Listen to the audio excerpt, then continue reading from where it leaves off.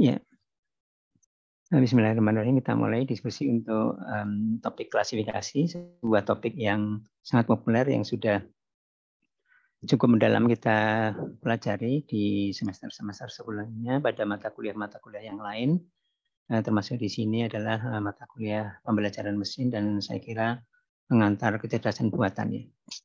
Salah satunya. Kemudian ada mata kuliah yang lain kalau kalian kalau kalian mengambil mata kuliah pilihan ada mata kuliah uh, Advanced Machine Learning dan tentunya ada mata kuliah Data Mining. Ya kebetulan saya sendiri uh, cukup lama mengampu mata kuliah Data Mining.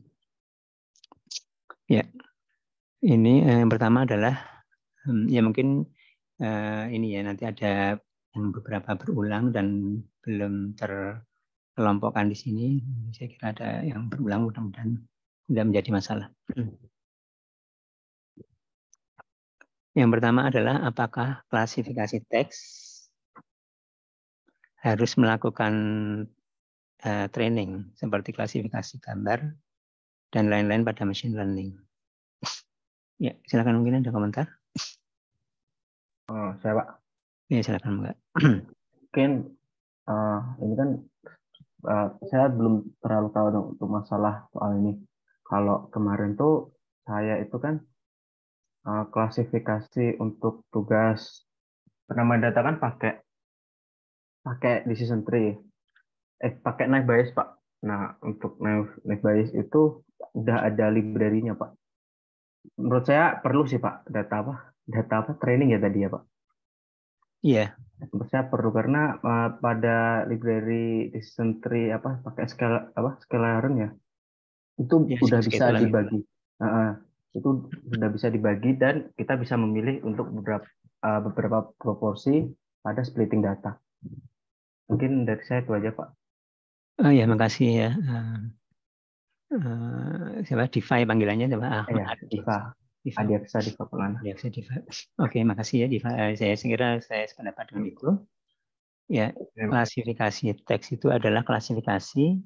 Klasifikasi itu adalah supervised learning supervise itu adalah butuh training. Ya, jadi supervise learning untuk data apa pun namanya supervise itu adalah training. Ya. Training. Jadi mensupervisi mensupervisi itu adalah data training.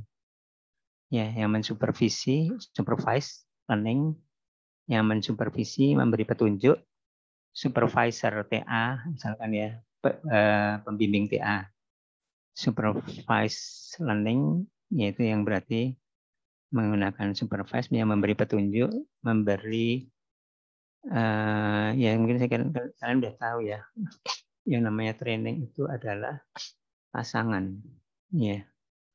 Yang namanya training itu adalah uh, pair pair atau pasangan ya.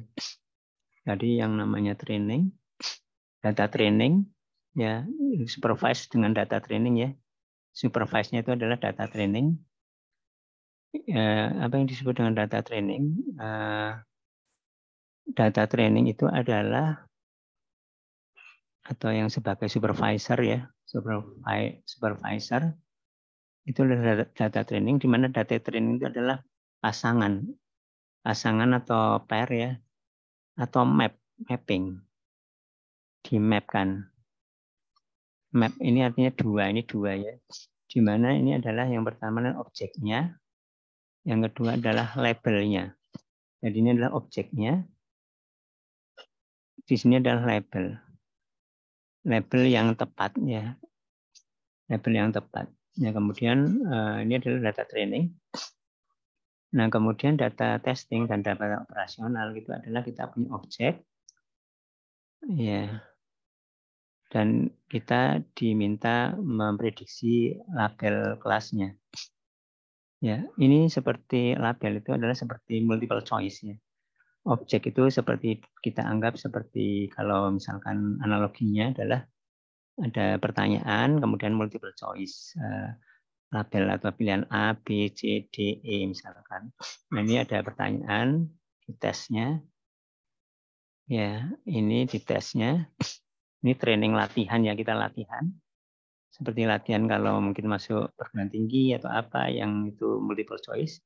Nah ini dites, ini disuruh misi untuk pertama yang objek pertama itu analoginya pertanyaan-pertanyaan ini pertama itu adalah A, B, C atau D. Nah seperti itu. Jadi train eh, apa klasifikasi apa pun, maksudnya apa pun itu maksudnya image atau objek-objeknya apa pun, eh, image multimedia yang lain, graf, eh, log. Log itu artinya stream ya, log. Log itu data stream, Data stream itu seperti data yang mengalir. Data mengalir itu contohnya adalah uh, log network, network log, atau network log atau yang network log atau misalkan telepon percakapan telepon ada artinya ada timeline-nya gitu. Atau jenis-jenis yang lain pokoknya yang namanya klasifikasi atau supervised learning ini biasanya adalah ada ini adalah berupa pair atau mapping kemudian ada latihan bukan sini latihan tapi untuk ya untuk untuk berlatih ya. Ini berlatih seperti halnya kalau kita ujian. Nah kita ada kumpulan soal jawab training itu adalah soal jawab yang multiple choice. Testing ya ini seperti uh, uh, kumpulan soal jawab tapi jawabnya disembunyikan di kunci jawaban di belakang gitu ya. Kunci jawaban nomor satu apa sehingga nanti kita dari latihan ini, latihan pertama nilainya berapa, akurasinya berapa seperti itu. Ya balik lagi ke pertanyaan. Ini di sini, apakah klasifikasi teks itu uh, melakukan training? Ya, iya, ya, diulang lagi seperti itu ya. Ya, apa pun jenisnya, apa pun jenisnya, uh, yang namanya klasifikasi itu adalah ada proses training. Mungkin satu lagi uh, saya tambahkan. Ya, jadi um, ya jadi istilahnya ya mungkin yang salah satu istilah yang uh, standar ya. Nah ini proses training, ya ini proses training. Ya proses training uh, oleh classifier, klasifikasi. Jadi classifier dengan ininya ya bendanya, pelakunya atau metodenya classify klasif klasif classifier ya classifier ya classifier seperti tadi dikatakan oleh uh, itu ya um, itu uh, apa itu misalkan bias atau yang lain atau deep learning atau yang lain. Nah ini uh, proses kotak proses. Ya ini datanya data training ya. Menggunakan data training artinya data yang banyak. Data training dan kemudian ini proses training. Yang dihasilkan adalah model. Model itu kecil, ini data tapi kecil. Uh, artinya apa? Artinya sebenarnya di sini adalah proses training dari data menjadi model, di mana mungkin ini ada juta ribuan atau puluhan ribu atau jutaan data, menjadi di sini hanya kecil, jauh lebih kecil, sangat lebih kecil kalau data itu misalkan di sini kalau ditulis misalkan ya ya, ya contohnya misalkan berapa lembar ribuan lembar buku kalau teks ini hanya mungkin dua lembar. Menjadi dua lembar. Ini bentuknya adalah namanya generalisasi. Generalisasi. Generalisasi uh, membuat general. Ya jadi ini itu adalah general dari yang ini. Seperti contohnya misalkan gini. Nah, generalisasi bentuknya bisa macam-macam ya, bisa probabilitas, bisa pohon, decision tree ya, bisa berupa neural network, deep learning dan lain-lain, bisa rule. Nah, contohnya misalkan ini data-data mahasiswa TLU yang jumlahnya ribuan misalkan ya. Nah, di sini hmm, generalisasinya adalah misalkan rule. Ya, if uh, yang mahasiswa LUF yang mempunyai karakteristik ini mungkin dari sisi pakaiannya, penampilannya atau apa, then mungkin kelasnya itu misalkan kelasnya per fakultas misalkan gitu ini kan generalisasi itu um, uh, ini ya uh, fakultas apa, fakultas apa, fakultas apa, mahasiswa fakultas apa, kalau pakaiannya seperti itu atau uh, mungkin gimana lah ya, karakteristiknya. Ya, ini kan hanya paling bentuknya dua lembar ya ininya ya penjelasannya. Nah itu uh, balik lagi ya. Uh, mungkin penjelasannya adalah dengan mining istilahnya ya mining. Tadi data mining sangat dekat data mining dengan eh, machine learning. Mining atau learning kan mirip ya. Nah, ini satu proses yang belajar atau memining. Yang perlu diingat adalah mungkin di awal-awal udah disampaikan, eh, merefresh lagi. Di sini namanya generalisasi itu hampir hampir selalu atau katakan mungkin selalu tidak bisa 100% akurasinya. Dan itu wajar karena itu ini generalisasi yang tadinya ribuan, puluhan ribu, ratusan ribu menjadi hanya di sini sangat ringkas. Akurasinya selalu dapat dikatakan selalu di bawah 100%. Dan ini memang seperti itu. Artinya uh, uh, generalisasi seperti itu meskipun ini dibuat selama bertahun-tahun itu juga nggak bisa sampai 100% nggak memang nature-nya nggak mungkin 100%. Nah mungkin tambahan dari saya seperti itu. Silakan mungkin ada komentar uh, berkaitan dengan klasifikasi meskipun agak melebar tidak persis uh, mengaitkan dengan pertanyaan. Itu satu beberapa saya kira poin-poin penting yang ingin saya sampaikan tadi. Ya, mungkin sambil kita lanjutkan nanti mudah-mudahan diskusinya bisa jadi lebih hidup dan dengan pertanyaan-pertanyaan uh, jadi lebih mudah-mudahan jadi lebih paham kita. Untuk model klasifikasi yang memiliki tingkat nilai tinggi model apa saja. Nah mungkin sebelum sebelum mendiskusikan ini secara langsung, Uh, saya kira ini um, yang saya pahami, yang ditanyakan ya. Ini adalah tingkat itu maksudnya adalah performansi ya mungkin ya. ya. Uh, performansi. Ya, jadi uh, performansi. Jadi performansi dari model ini yang dihasilkan dari proses training itu ya. Ya jadi uh, performansi. Ya ini saya kira juga ulang-ulangnya performasi dari model atau performasi dari sebenarnya performasi dari proses ini menghasilkan model ini kan. Jadi performasi dari sebuah algoritma misalkan ya. Ya algoritma itu lebih detail daripada metode. Misalkan metodenya itu uh, atau pendekatannya kalau lebih global lagi itu decision tree. Decision tree itu ada algoritmanya ada macam-macam. Ya, jadi sebuah algoritma itu misalkan uh, menghasilkan model nah, sebenarnya uh, uh, performasi dari model yang itu dicerminkan ya performasi dari algoritma yang itu dicerminkan dengan modelnya uh, performasi itu ada sebenarnya performasi itu ada dua ya secara garis besar ya yang umumnya yaitu efektivitas efektivitas dengan efisiensi efektivitas dengan efisiensi. Ya, ya mungkin maaf agak melebar, tapi saya kira ini uh, satu hal yang uh, penting. Ya, mungkin uh, kalian ada komentar, um, pendapat apa yang dimaksud dengan efektivitas dan apa efisiensi atau mungkin ada contohnya juga bagaimana mengukurnya.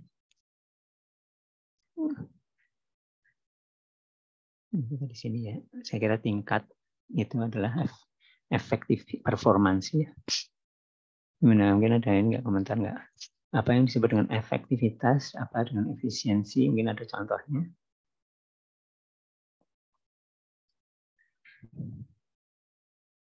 Gimana? Silakan ditulis di chat nggak apa-apa atau mau di open mic.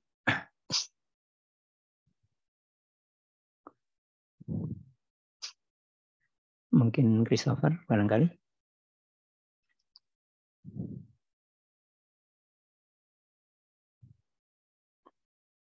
Atau Andi?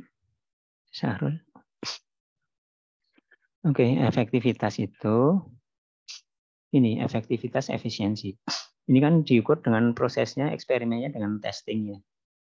Dengan testing itu kan dites.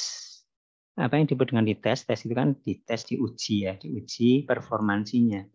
Seperti halnya kalau kita tes ada UTS, UAS itu kan dites ya. Ada performansinya ya. Oke, perwira ya. Mungkin saya baca dulu. Oke, uh, kalau efektivitas lebih cara mendapatkan hasil yang terbaik dengan waktu tercepat. Oke, efektivitas ya. Um, saya tulis dulu ya. Makasih ya Perwira ya.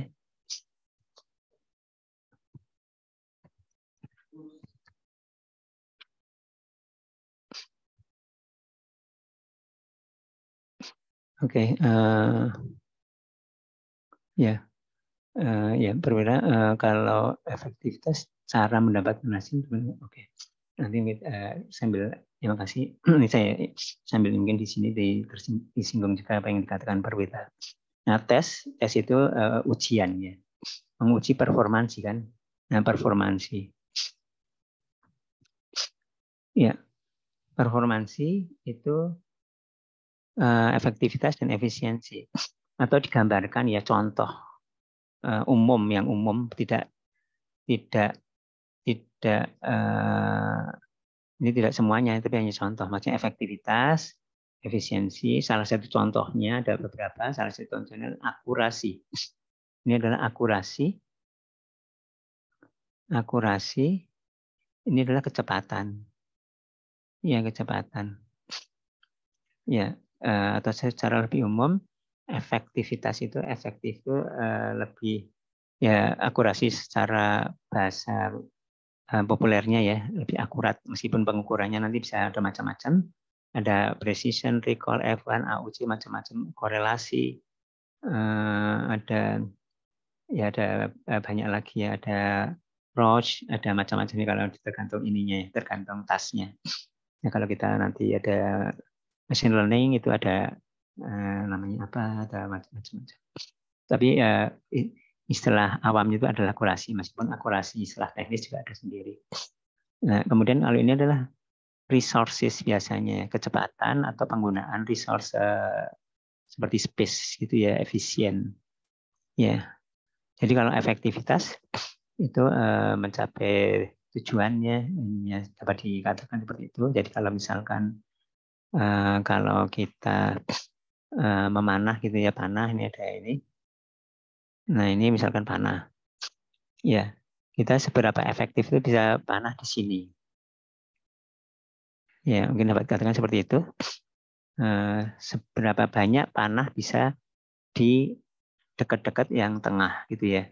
Nah, semakin dekat-dekat yang di tengah itu ini. Tapi kalau efisiensi, nah ini kan dalam waktu 10 menit misalkan, silakan memanah sebanyak-banyaknya. Nah, ini kan kalau efisien itu ya artinya eh, dapat dikatakan analoginya adalah panahnya banyak yang yang dilemparkan ya, ditancapkan di sini ya.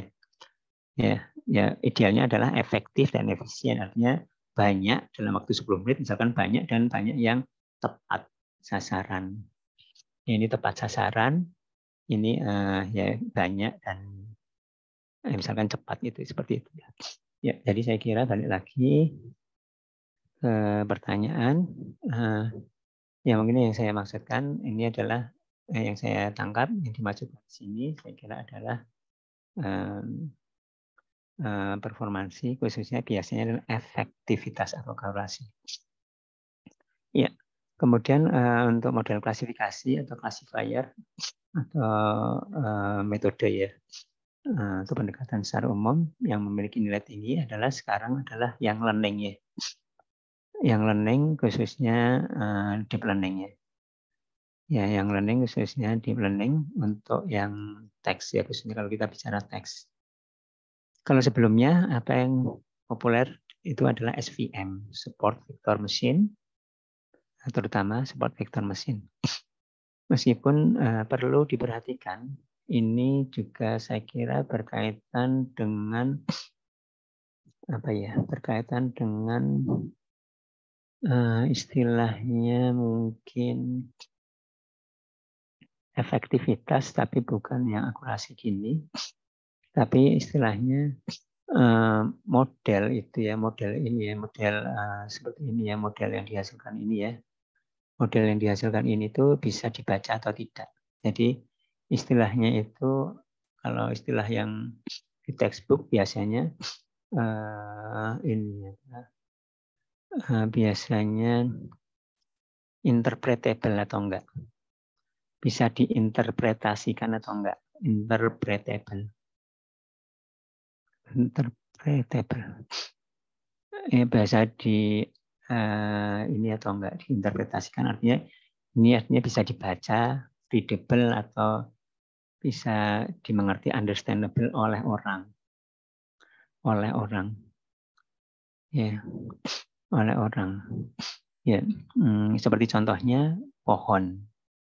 Pohon itu bisa dibaca oleh orang.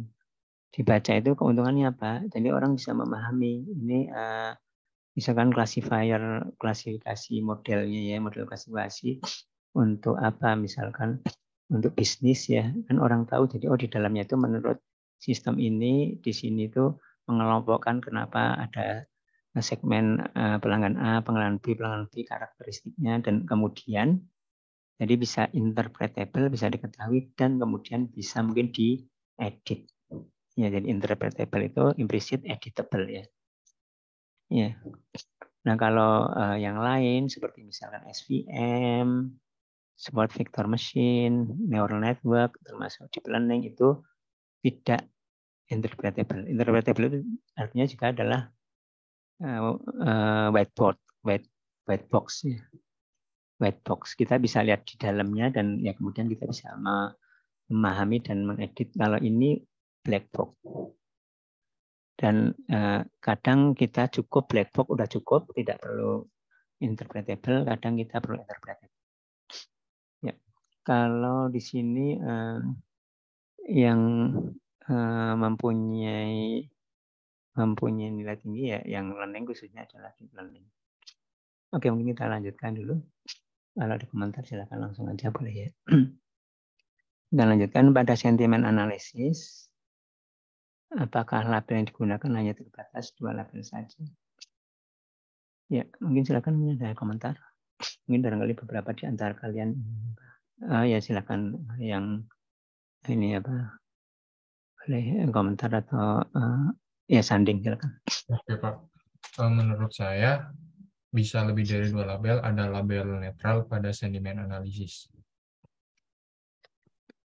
Oke. Okay. Oke, okay, makasih ya.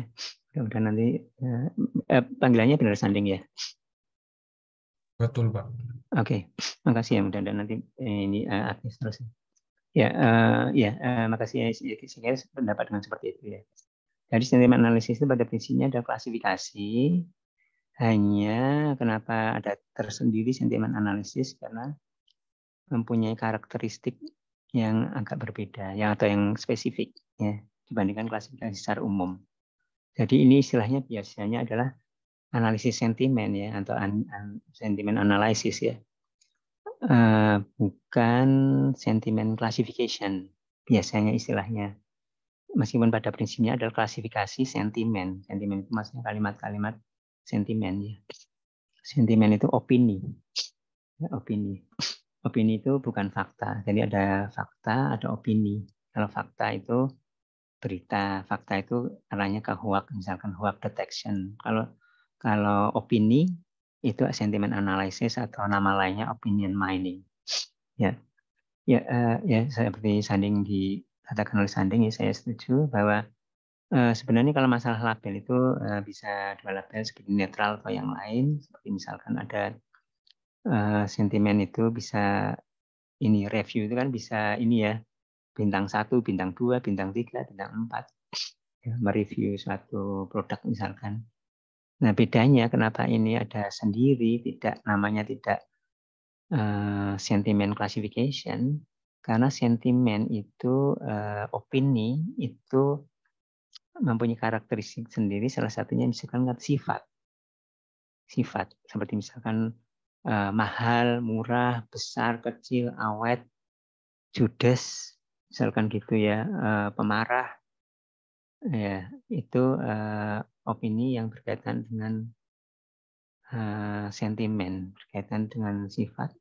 Sehingga misalnya contoh sederhana yang jelas, kata tidak atau kata negasi secara umum tidak enggak bukan itu udah bisa ber 180 eh, derajat yang tadinya iya jadi tidak jadi seperti misalkan murah dengan tidak murah nah itu yang tadinya sentimennya positif jadi negatif.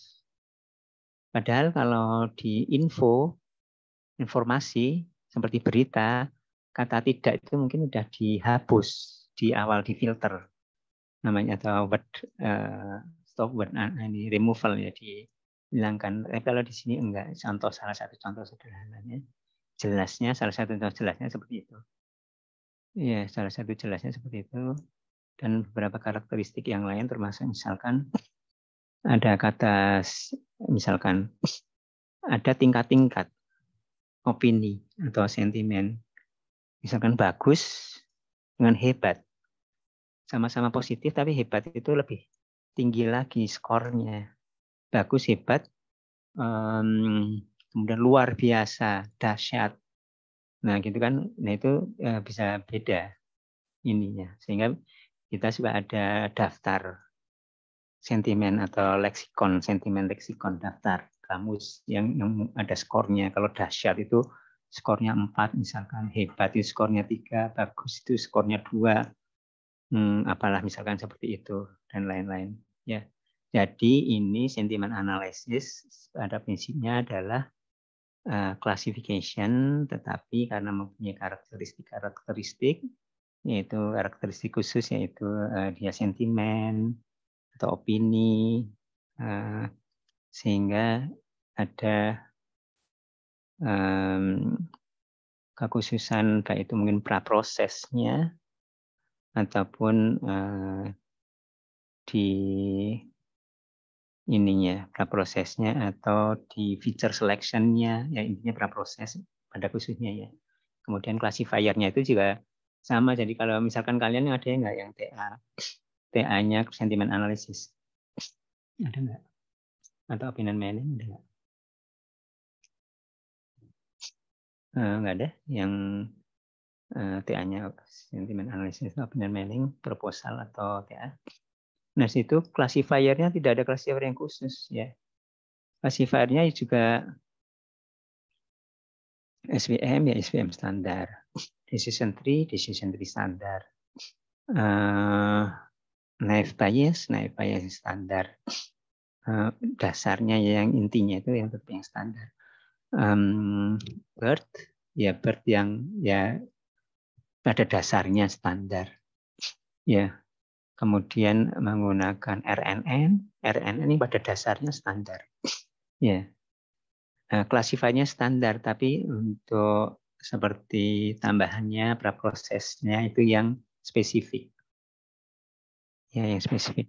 Atau secara umum, ya bukan hanya sentimen ya, secara umum, ya secara umum sebenarnya uh, dapat dikatakan standar ya, apa uh, ininya apa classifier ya.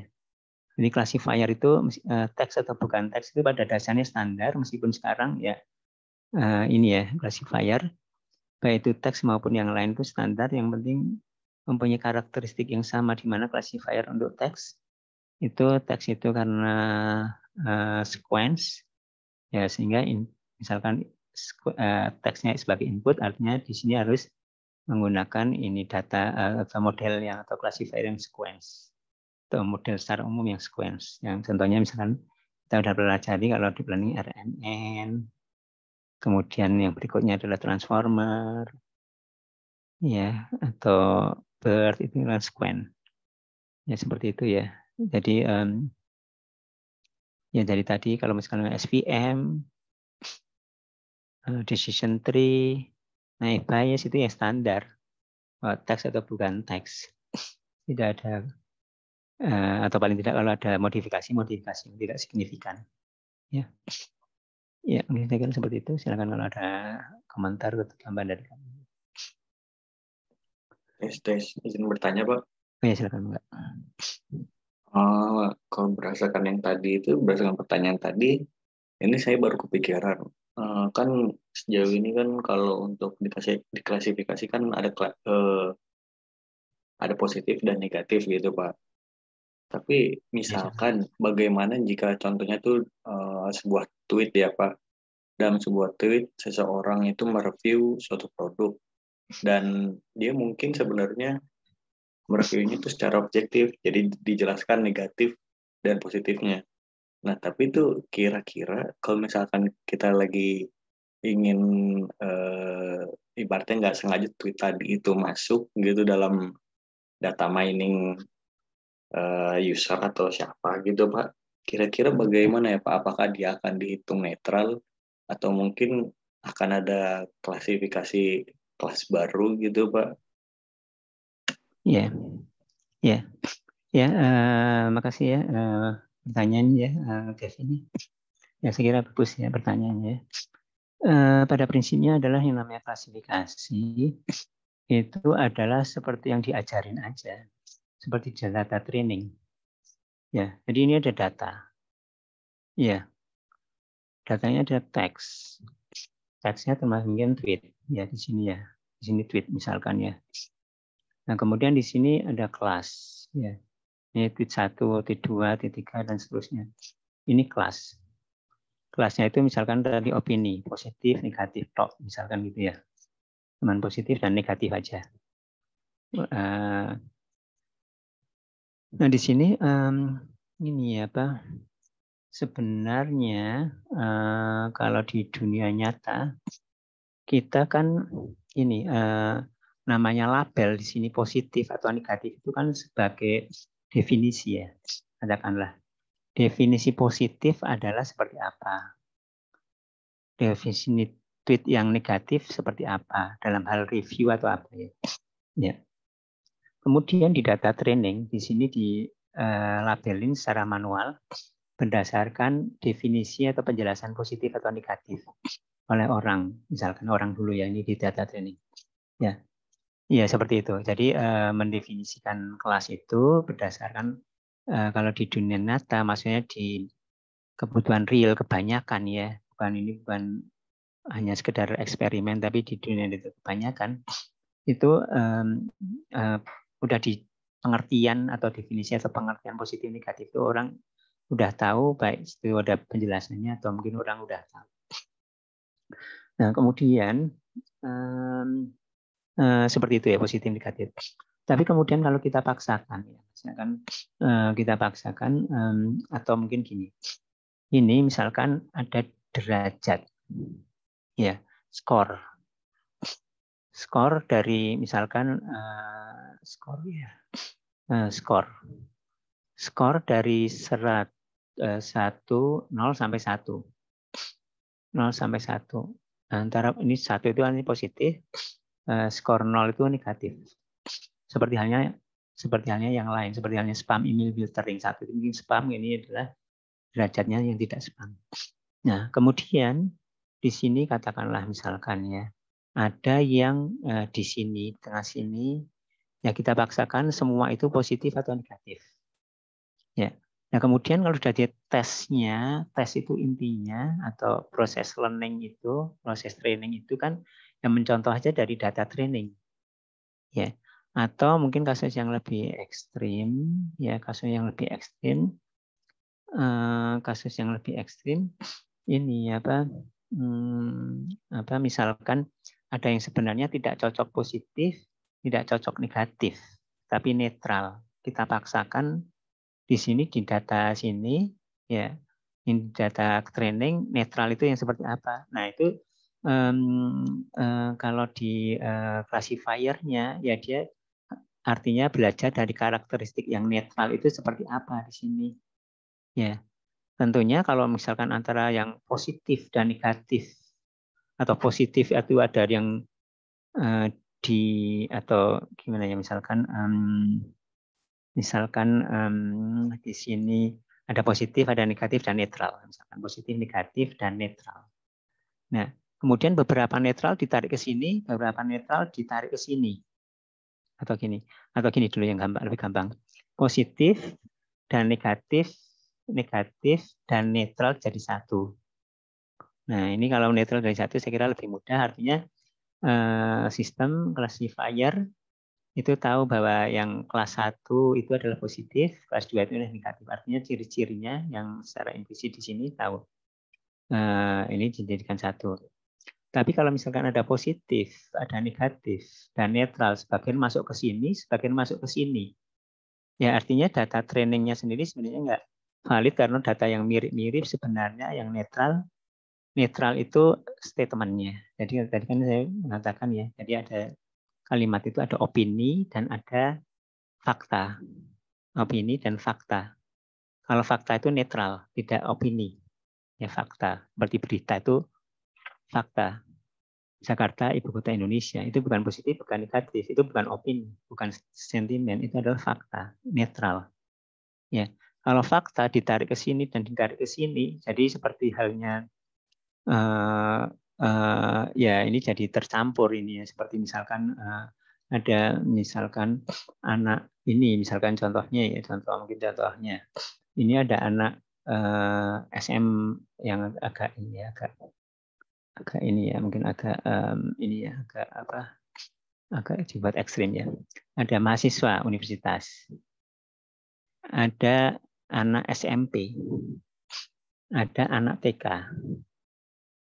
ya anak TK ini ada daftar ya ini ada daftar ini ada uh, orang nama orang Orang pertama dengan ciri-ciri karakteristik macam-macam dari sisi uh, tinggi badan, berat badan, karakteristik macam-macam. Ya orang pertama, orang kedua dan lain. Artinya ini ininya ya fitur-fiturnya ya atau kalau digambarkan gini lebih gampang mungkin. Ya fitur-fiturnya di sini fitur-fiturnya seperti tingginya atau apa atau apa di sini. Dari sini sifat-sifatnya. Ini orang satu, dua, dipilih tiga universitas mahasiswa, anak SMP, anak TK. Dibuat, dibuat seperti ini ya supaya lebih ekstrim. Nah kemudian dipaksakan hanya dua saja. Seperti yang seperti ini, misalnya universitas dan TK aja. Padahal anak SMP ada di sini, ada yang dimasukkan ke anak SMP itu ada yang kalau anak SMP dimasukkan semua ke TK, artinya ya eh, sebenarnya lebih mudah karena ini kan jadi satu di sini ya ini dimasukkan satu juga bisa. Tapi kalau anak SMP kemudian ada yang masuk yang dianggap sebagai universitas, mahasiswa, anak SMP di sini, ya sebenarnya secara uh, secara uh, penjelasan misalkan kelas 1 dan kelas 2, kelas 1 itu apa sebenarnya? Karena nyampur dengan di sini. Nyampur ya, nyampur. Atau contoh yang lain, misalkan ada gajah, ada semut di sini, ada kucing. Nah ini kelas 1, kelas 2. Dipaksakan kucing ada yang masuk di sini, kucing masuk di sini. Nah itu juga eh, nanti eh, secara teoritis nanti ya ini apa yang kucing ini jadi enggak akurat ya tadi gajahnya mungkin eh, di testing eh, akurat di kelas 1 semua katakanlah gitu semut di kelas kelas 2 semua tapi kucing ada yang masuk sini, ada yang masuk ke sini, jadi kaca juga. Nah ini uh, positif, negatif, netral. Ya itu kalau mungkin maaf kalau tadi uh, pertanyaannya uh, saya ini apa um, uh, seperti itu ya saya kira ya. Uh, gimana? Kevin Bintang jawab pertanyaan nggak ya?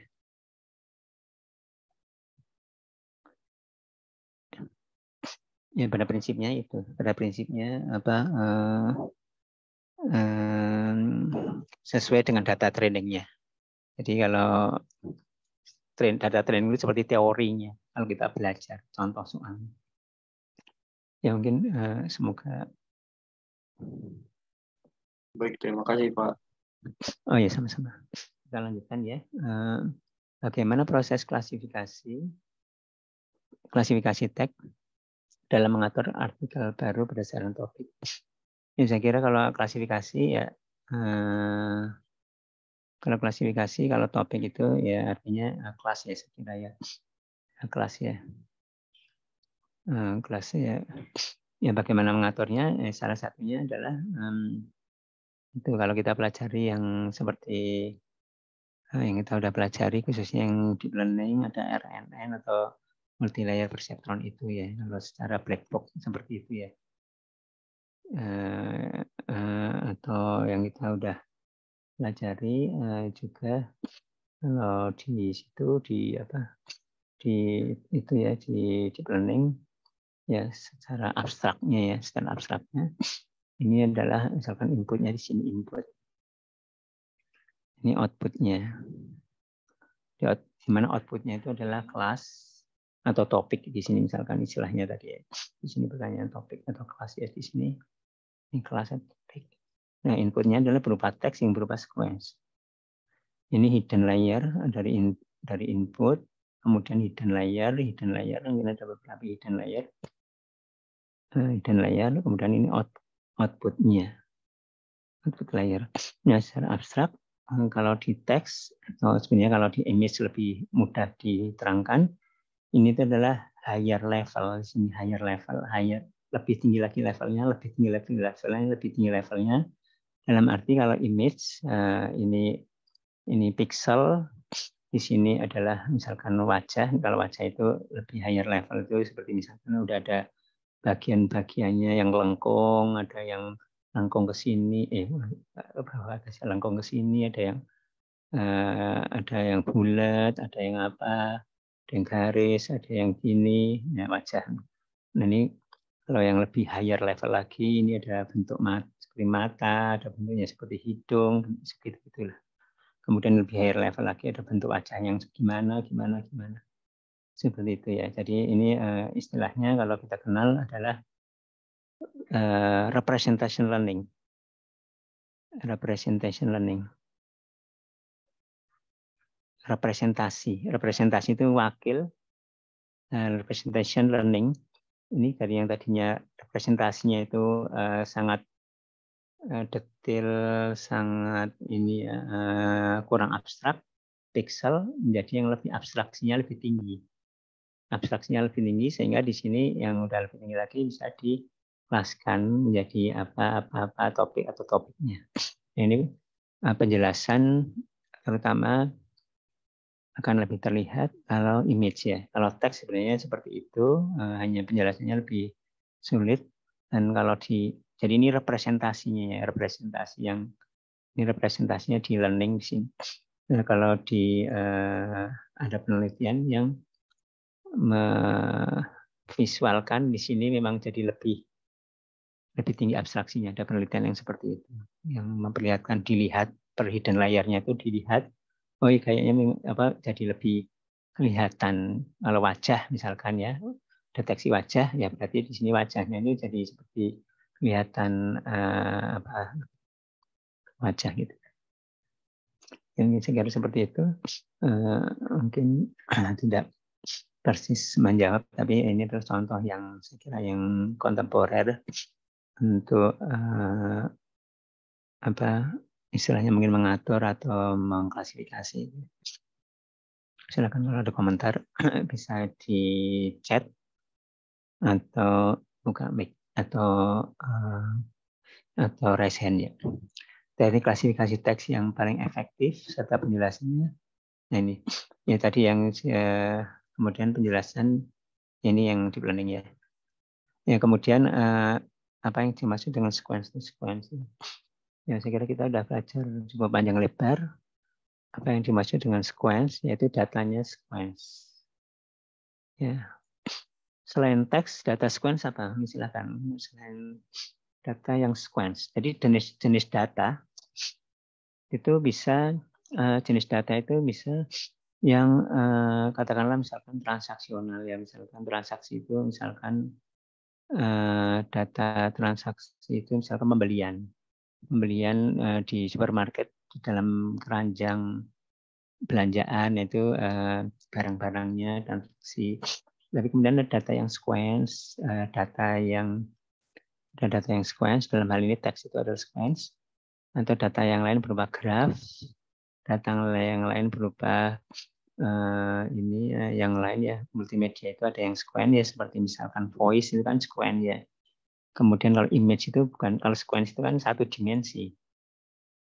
Kalau image itu dua dimensi kan.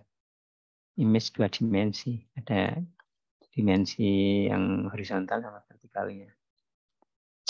Eh, kemudian eh, data yang lain, data yang tadi ada flow tadi ya atau stream. Misalnya stream atau flow.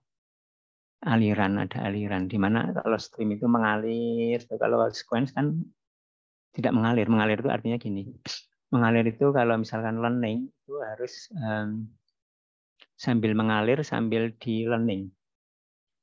Kalau sequence kan datanya statik. Datanya statik ya.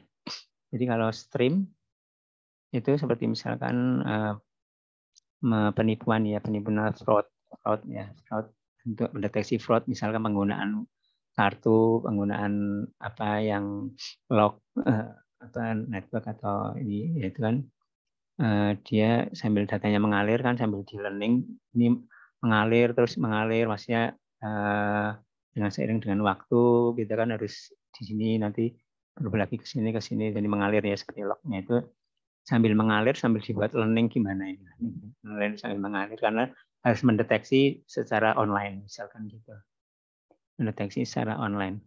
Nah misalkan seperti itu ya. Jadi uh, kalau sequence contohnya adalah teks di mana ada ini apa uh, secara uh, urutan yang harus tidak boleh diubah di di bolak-balik ya Ya silakan kalau ada komentar untuk data sequence yang lain. Kemudian sequence to sequence artinya in, inputnya sequence, outputnya sequence ya. Kalau teks itu adalah kalau namanya teks uh, atau NLP, khususnya NLP yang teks ya. NLP itu kan bisa voice bisa, atau speech, bisa teks. Tapi perlu diingat ya, ini ada speech ya, speech atau voice dengan teks. Uh, mungkin udah di, saya sampaikan di sini atau mungkin belum ya. Mungkin kalau diulangi, ya mudah-mudahan nggak apa-apa. Ya di ini ya. Kalau sekarang kecenderungannya itu adalah uh, teks ya. Karena kalau speech atau voice itu ditekskan dulu. Ya jadi seperti misalkan uh, untuk diproses itu ditekskan dulu.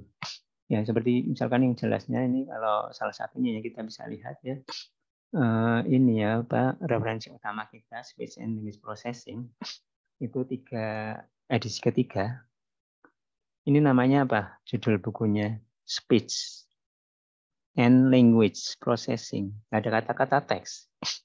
Tapi di sini sebenarnya utamanya adalah berbicaranya teks di sini. Teori-teorinya menggunakan teks artinya discrete. Ya, discrete. Teks itu kan discrete, huruf, huruf, huruf atau kemudian disusun menjadi kata-kata-kata. Ya. Ini sampai sini semua teks. Bahasa yang yang representasinya teks. Sampai di sini chatbot juga teks. Artinya kalau ada chatbot yang menggunakan speech itu ditekskan dulu. Ya, question answering yang speech ditekskan dulu ininya proses-prosesnya. Nah, ini yang terakhir Ya. Yang terakhir baru speech. Coba ini di sini terakhir speech. Di sini speech baru yang terakhir, di sini dua aja. Dua bab terakhir.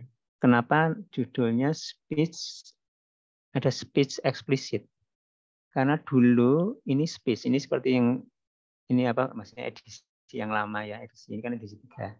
Edisi tiga kan Nah, edisi yang sebelum-sebelumnya, sebelumnya itu udah lama ya. Yang dua itu udah lama, bertahun-tahun yang lalu. Edisi satu. Saya edisi satu lebih lama lagi. Ya, ini di edisi dua ini di chapter 7. Ini, yang sekarang 25. Ya. Kemudian ini juga speech to text. Ini juga dulu di 8. Di awal-awal di sini, di atas ini. Nah, sekarang sini udah teks semua. Nah, seperti misalkan, eh, karena kalau speech itu di teks dulu seperti ini. Speech to text. Atau text to speech tapi kalau ini ini text to speech ya. Tapi kalau misalkan speech itu ditekskan dulu. Jadi speech to text ditekskan dulu baru diproses deep learningnya deep learning berdasarkan sequence-nya teks. Ya language-nya representasinya representasi teksnya. Ya. Ya gitu uh, apa jelasan ini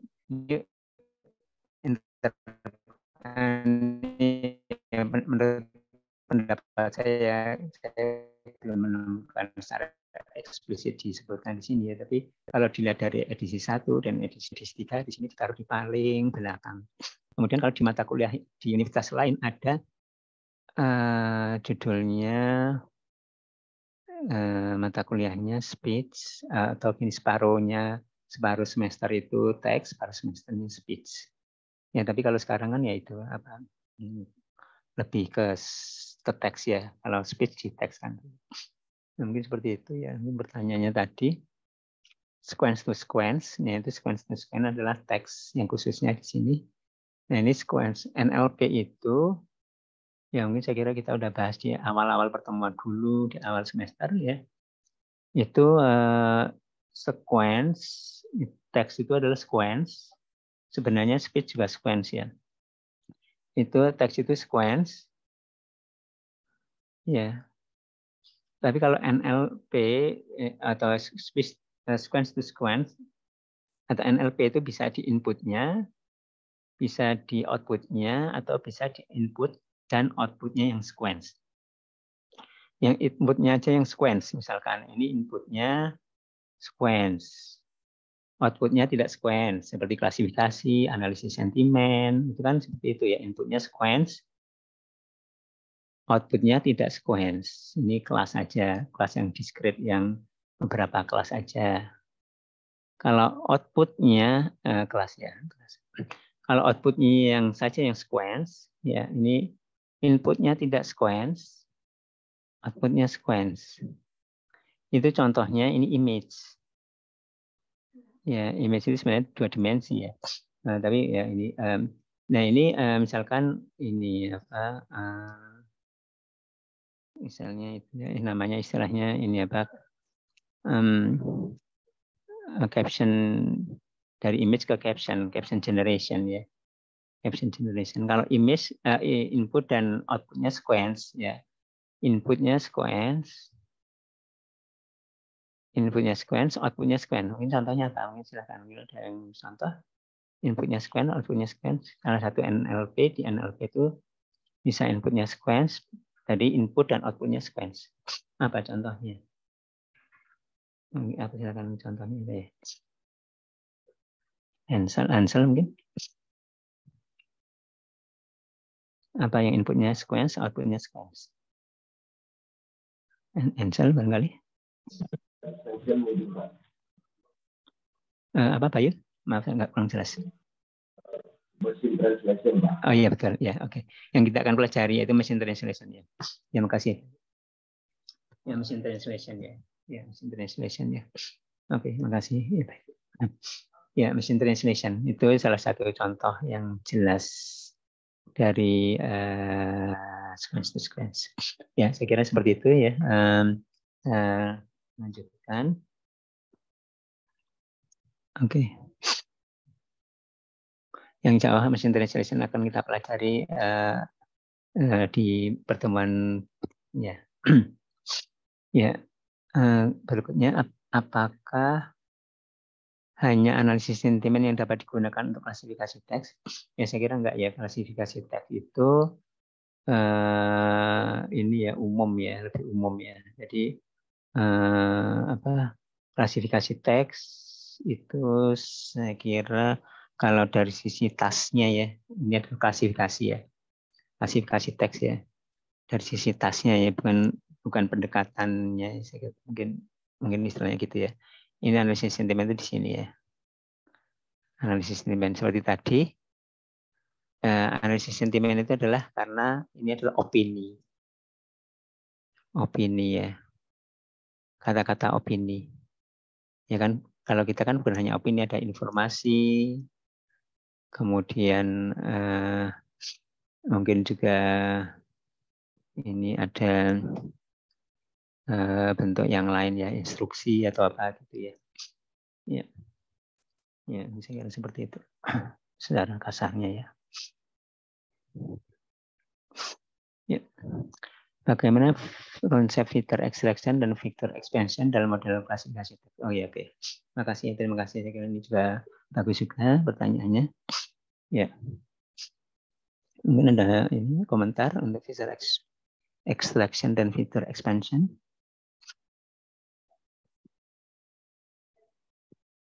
Ya. Ya. Ya, jadi uh, ini ya yang sangat penting Mungkin berbicara dulu ini dulu ya, Pak. Yang sebelumnya, yang masih masa-masa sebelumnya. Maksudnya masa sebelumnya itu masa-masa uh, salah satunya adalah masa pra di planningnya. Ada fitur ya. Fitur. Fitur itu apa fitur itu secara umum ya ini bukan hanya teks dulu secara umum. Fitur itu adalah katakanlah untuk menyatakan properti atau sifat dari suatu objek yang berkaitan juga dengan representasi. Representasi. Jadi kalau uh, sebuah objek kita berbicara ini ada sebuah objek ini ada objek satu, objek dua, objek tiga, objek apa pun objeknya, graph, image, uh, speech, text, transaksi, stream, uh, atau yang lain, itu kan harus direpresentasikan. Eh, diwakili dengan apa? Ya, tentunya diwakili dengan setepat-tepatnya ya ada trade off antara kedetilan sama kalau semakin detail ya artinya representasinya semakin banyak. Artinya misalkan contohnya orang atau orang atau mahasiswa. Nah, mahasiswa, seorang mahasiswa itu direpresentasikan dengan apa? Ya tergantung juga. Misalkan kita lebih cenderung nantinya mungkin secara ini ya agak manual ya atau secara ya ini representasinya apa? Misalkan nama uh, ya ada name ada nama ada alamat ada misalkan uh, gender ada yang lain-lain asal SMA nah kalau keperluannya akademik ya ini data-data akademik kalau keperluannya bukan akademik, misalkan apakah dia kos enggak, apakah dia uh, profil yang lain, hobinya apa. Ya kalau akademik mungkin hobi enggak begitu urgent. Ini adalah representasinya. Representasi yang lain juga tingginya berapa, secara fisiknya, ya orang tuanya, misalkan pekerjaan orang tuanya dan lain dan lain-lain. Artinya ingin merepresentasikan mahasiswa mahasiswa para mahasiswa itu dengan apa? tentunya tergantung dari keperluan. Kalau keperluannya untuk menentukan ini ya apa apakah dia kumulat atau tidak, mungkin ada hal-hal yang tidak urgent seperti misalkan atau tidak related. Seperti misalkan dia senang warnanya apa, warna yang dia sukai, mungkin seperti itu yang secara logiknya itu tidak terkait ya. Ya, jadi uh, fitur set fitur uh, himpunan fitur itu men, atau mengatakan properti uh, sifatnya itu merupakan representasi dari objek. Nah kalau teks itu ya representasi dasarnya aslinya itu ya huruf-huruf.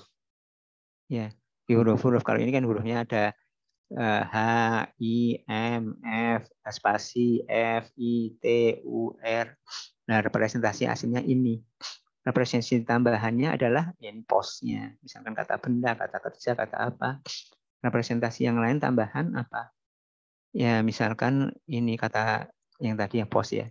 Kemudian uh, mungkin kalau tambahannya misalkan bisa aja kita bukan kata-kata tapi misalkan gram ini 3 gram FIT ITU TUR atau bobot ini nanti bobotnya berapa tergantung dari namanya FTF IDF gitu ya Nah, seperti itu. Jadi uh, fitur himpunan fitur itu untuk representasi representasi mana yang tepat. Sehingga tadi kan kita juga yang tadi kan namanya representation learning ya. Ini kan tadi ya representation learning ya tadi. Ini representation learning. Ada prinsipnya kan representation learning. Um, uh, apa uh, seperti itu ya. Jadi uh, balik lagi ya pertanyaannya itu adalah fitur extraction, fitur expansion berkaitan dengan fitur. Fitur bahasa lainnya istilah apa istilah lainnya ya? Istilahnya lain-lain fitur itu adalah atribut. Ya atribut fitur. Fitur itu kalau bahasa Indonesia-nya tapi Indonesia adalah ciri. Ya, fitur kan ciri sebenarnya. Fitur itu ciri. Atau kalau fitur yang kita kenal ya itu saya kira juga sama. Fitur fitur-fitur HP, misalkan dari sisi warnanya, dari sisi eh, beratnya, fitur-fitur softwarenya, dan lain-lainnya, ciri-cirinya. Nah, kemudian uh, kita masuk ke teks ya. Teks itu kan ininya uh, representasi aslinya kan huruf-huruf huruf-huruf yang disusun menjadi kata-kata kata termasuk ada simbol-simbol tanda baca dan lain-lain. Nah, itu uh, fiturnya biasanya satu kalimat atau bahkan satu paragraf atau bahkan satu dokumen sebagai satu unit itu adalah dokumen satu. Kalau dokumen satu unitnya adalah dokumen, dokumen itu adalah berhalaman-halaman, ini panjangnya hurufnya itu bisa ratusan, bisa ribuan. Sehingga fiturnya, kalau fiturnya asli, huruf satu, huruf dua, huruf tiga, atau kali kata satu, kata dua, kata tiga, ini bisa ribuan. Bisa ribuan. Nah ini, fitur ini dikatakan merepresentasikan istilahnya demi dimensi. Ya, dimensi. Ya, dimensi. Nah, dimensinya bisa kalau ini banyak, artinya kalau kita menggunakan teks, menggunakan representasi asli dimensi, dimensinya tinggi. Dimensi tinggi itu adalah satu eh, salah satunya bisa menjadi kesulitan bagi proses, bagi classifier karena dimensinya tinggi. Ya, dimensinya tinggi. Jadi kalau coba kalau kita uh, contohnya analoginya ya kita ada satu dimensi, satu garis, dua dimensi, tiga dimensi ruang. Nah kalau dimensinya semakin tinggi kan ruangnya semakin besar atau mencari satu titik kan jadi semakin susah seperti contohnya itu atau mencari uh, ininya similarity atau kedekatan semakin susah intinya dimensi tinggi itu adalah tantangan atau kesulitan sehingga ada istilahnya kutukan dimensi. Ya, kutukan dimensi. Ini istilah yang sangat-sangat populer untuk NLP, untuk teks, ya. Kutukan untuk mining. Kutukan dimensi atau curse, curse of dimensionality. Curse, kutukan, curse of dimensionality. Sehingga dimensinya perlu diturunkan. Ya. Dimensinya yang sangat tinggi ribuan misalkan ribuan itu berapa? 50 ribu atau yang eh, karena kata-kata kan banyak satu satu dictionary di kamus kan kata bahasa Indonesia kan 50 ribu misalkan ini 50 ribu di eh, kenapa ini kutukan dimensi karena eh, algoritma-algoritma termasuk algoritma yang bisa menangani dimensi tinggi seperti SVM SVM itu bisa dimensinya relatif tinggi dibandingkan yang lain ya uh, dibandingkan yang lain ini terutama yang pra pra deep learning ya. Nah itu uh, tetap itu jadi kesulitan kalau tinggi. Kesulitan itu maksudnya apa? Kesulitan itu bisa sampai nggak bisa jalan. Uh, atau kalau jalan lama, atau kalau lama dan tidak akurat. Nah sehingga diturunkan dimensinya. Diturunkannya dengan gimana? Dengan diekstrak. Ya. Istilahnya diekstrak. diekstrak atau dipilih. Ini dua hal yang mirip tapi berbeda.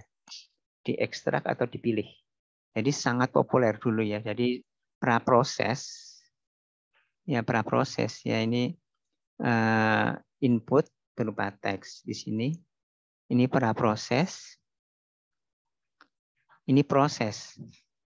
Jadi sebelum proses klasifikasi menggunakan SEM, menggunakan decision tree, menggunakan KNN, menggunakan rule base eh, atau yang lain neural network itu di praproses salah satu praproses itu adalah mengurangi dimensi dengan cara mengekstrak atau memilih. Apa yang dimaksud dengan memilih? Memilih dulu selection. Ya, feature selection itu adalah dipilih dari 50.000 di sorting atau di order berdasarkan hal tertentu. Seperti misalkan berdasarkan bobot TF IDF, berdasarkan TF misalkan. Nah, ini dipilih dari 50 ribu dipilih menjadi 500 yang tertinggi skor TF-nya misalkan.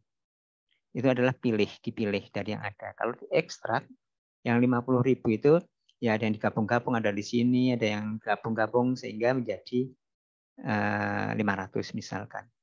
Yaitu ya jadi uh, balik lagi melihat ke uh, pertanyaan, bagaimana konsep fitur extraction? Nah itu adalah uh, fitur extraction ya. uh, filter extraction. Nah, kemudian um, filter extraction atau kemudian ada fitur selection sebenarnya juga. Kemudian kalau ada yang lain yang kurang uh, yang lebih jarang sebenarnya sih adalah fitur expansion. Expansion itu kalau biasanya kalau kurang kurang di expand ya. Kurang di expand, di expand atau uh, istilah lainnya. Jadi kalau di sini kita punya dua dimensi. Ya. Dua dimensi. Dimensi yang pertama itu adalah fitur set.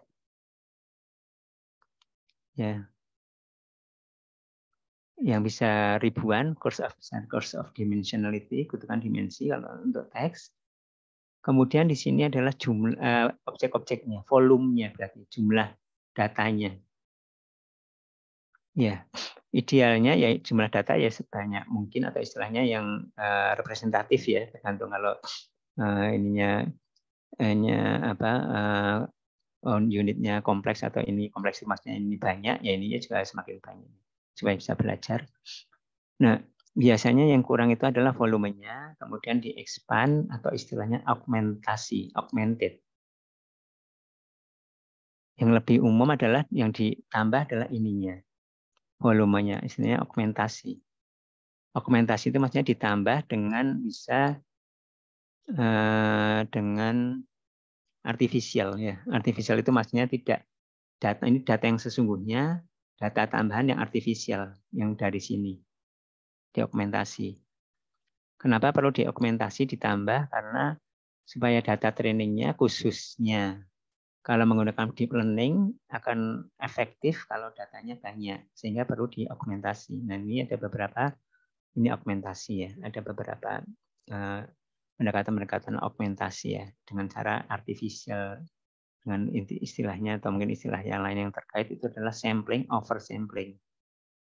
Ya mungkin kalian yang mempelajari ini uh, dengan apa istilahnya imbalance uh, data, imbalance itu maksudnya imbalance itu maksudnya ini ya apa imbalance itu maksudnya uh, distribusi datanya tidak balance ya. Nah ini yang untuk yang expansion terutama uh, volumenya ya. Kalau fitur, ya kalau fitur artinya mungkin fiturnya itu terlalu sedikit. Kalau sedikit itu tidak representatif, mungkin terlalu sedikit. Ya, di expand itu sebenarnya tidak sejauh yang saya tahu tidak populer ya, maksudnya tidak jarang-jarang kebutuhan itu ya sebenarnya. Nah, tapi ya, saya kira mungkin ada tapi jarang. Atau mungkin akan ini apa memberi komentar atau contoh untuk uh, fitur expansion ini silahkan ya mungkin. Eh, Manuel atau siapa yang memberi pertanyaan atau yang lain.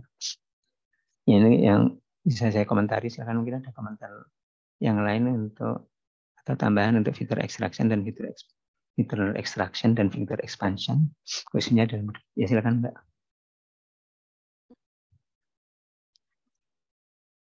Ada?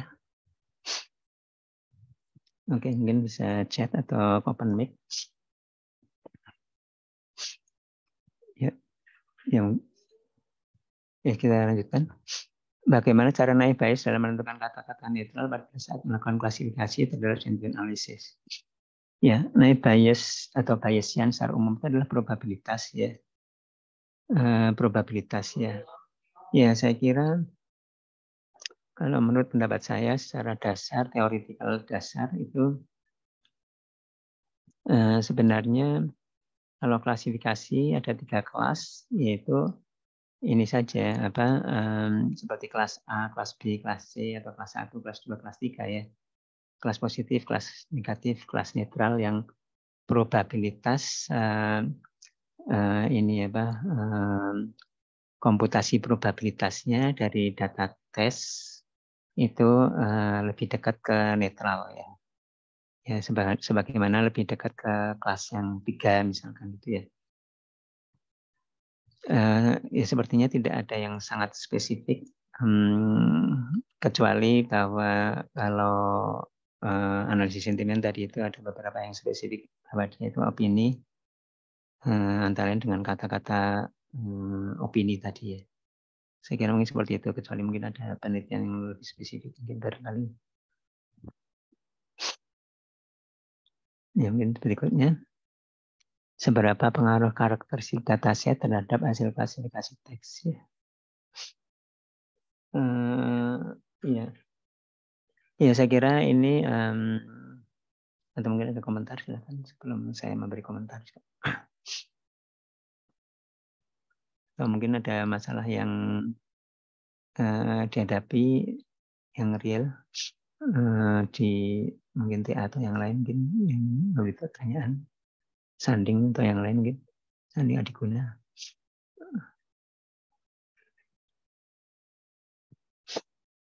Ya. Hmm. Oke, okay, uh, eh, mungkin kalau komentar saya adalah seperti ini mungkin ya, yang terkait dengan sini ya.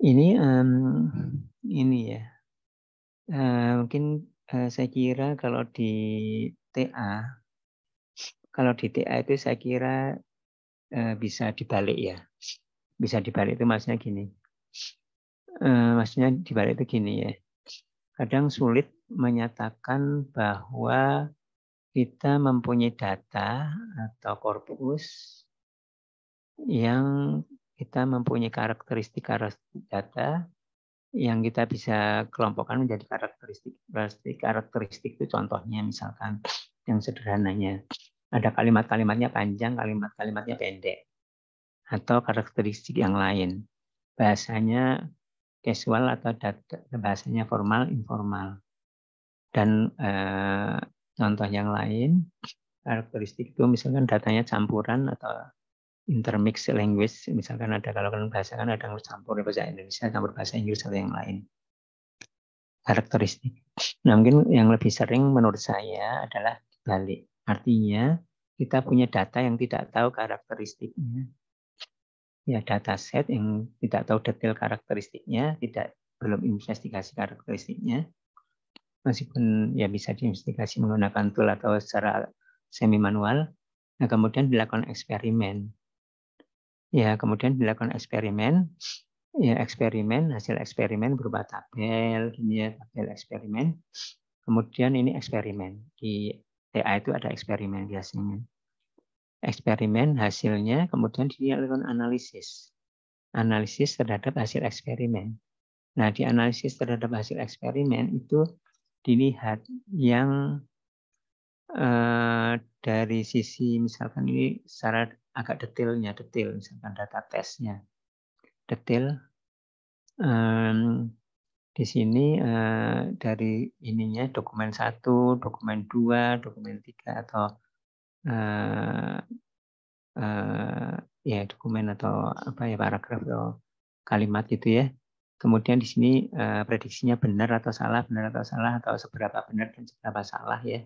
Ada skor benar salahnya, mungkin ada sangat salah atau sangat benarnya ya misalkan. Nah ini um, yang salah itu mempunyai karakteristik yang seperti apa ya. Jadi hasil dari analisis justru tahu bahwa yang mempunyai banyak kesalahan itu karakteristiknya seperti apa. Ya mungkin saya kira mungkin uh, seperti itu atau juga uh, saya kira uh, mungkin gini juga ya gini juga ya uh, bisa juga ini apa uh, oh, sini ya. Atau bisa juga gini uh,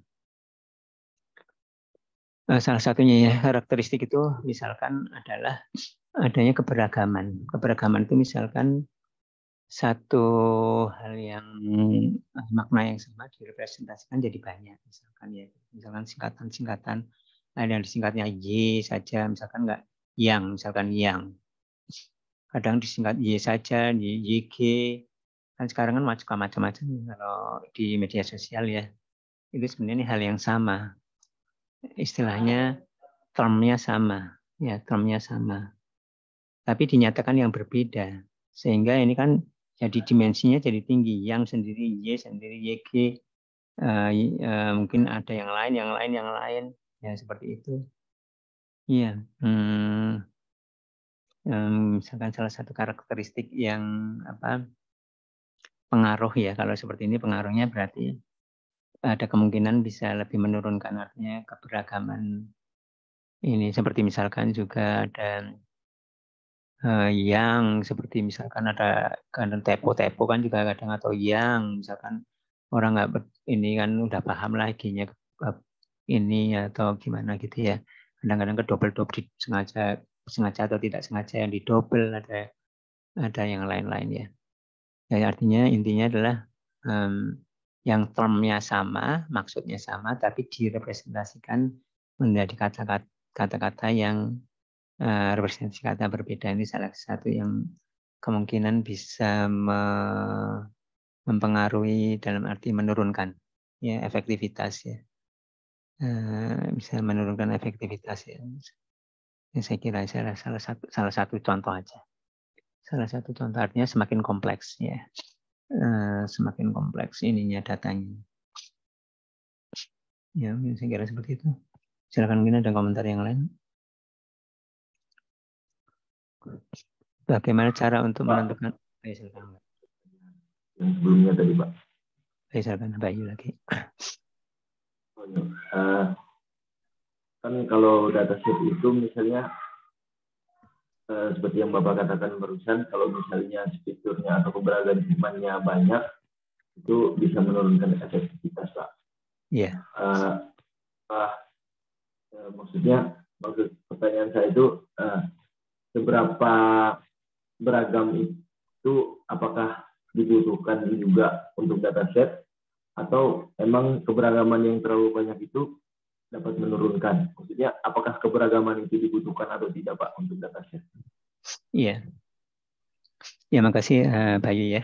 Mungkin uh, kalau komentar dari saya uh, sebenarnya realitasnya kalau media sosial kan lebih beragam ya, nggak standar. Uh, uh, kata-katanya nggak standar, singkatan-singkatan yang standar. Jadi kebutuhan atau kondisi real dari data. Bukannya dibutuhkan oleh sistem, tapi dibutuhkan oleh user atau kondisinya. Sejauh yang saya tahu, saya kira lebih tekanannya ke situ ya. menurut saya gitu. Gimana menurut Bayu? Jadi kita kan harus ke, iya. Ya gimana sih? Berarti itu lebih tergantung ke kebutuhannya uh, tujuan kita untuk melakukan klasifikasi atau yang lain uh, itu tergantung kebutuhannya. Kalau misalnya datasetnya butuh memang yang beragam, berarti keberagamannya keberagamannya memang bisa membantu. Uh, kalau memang keberagamannya terlalu banyak, itu mungkin bisa mengurangi gitu ya Pak. Yeah. Uh, ya, makasih komentarnya ya.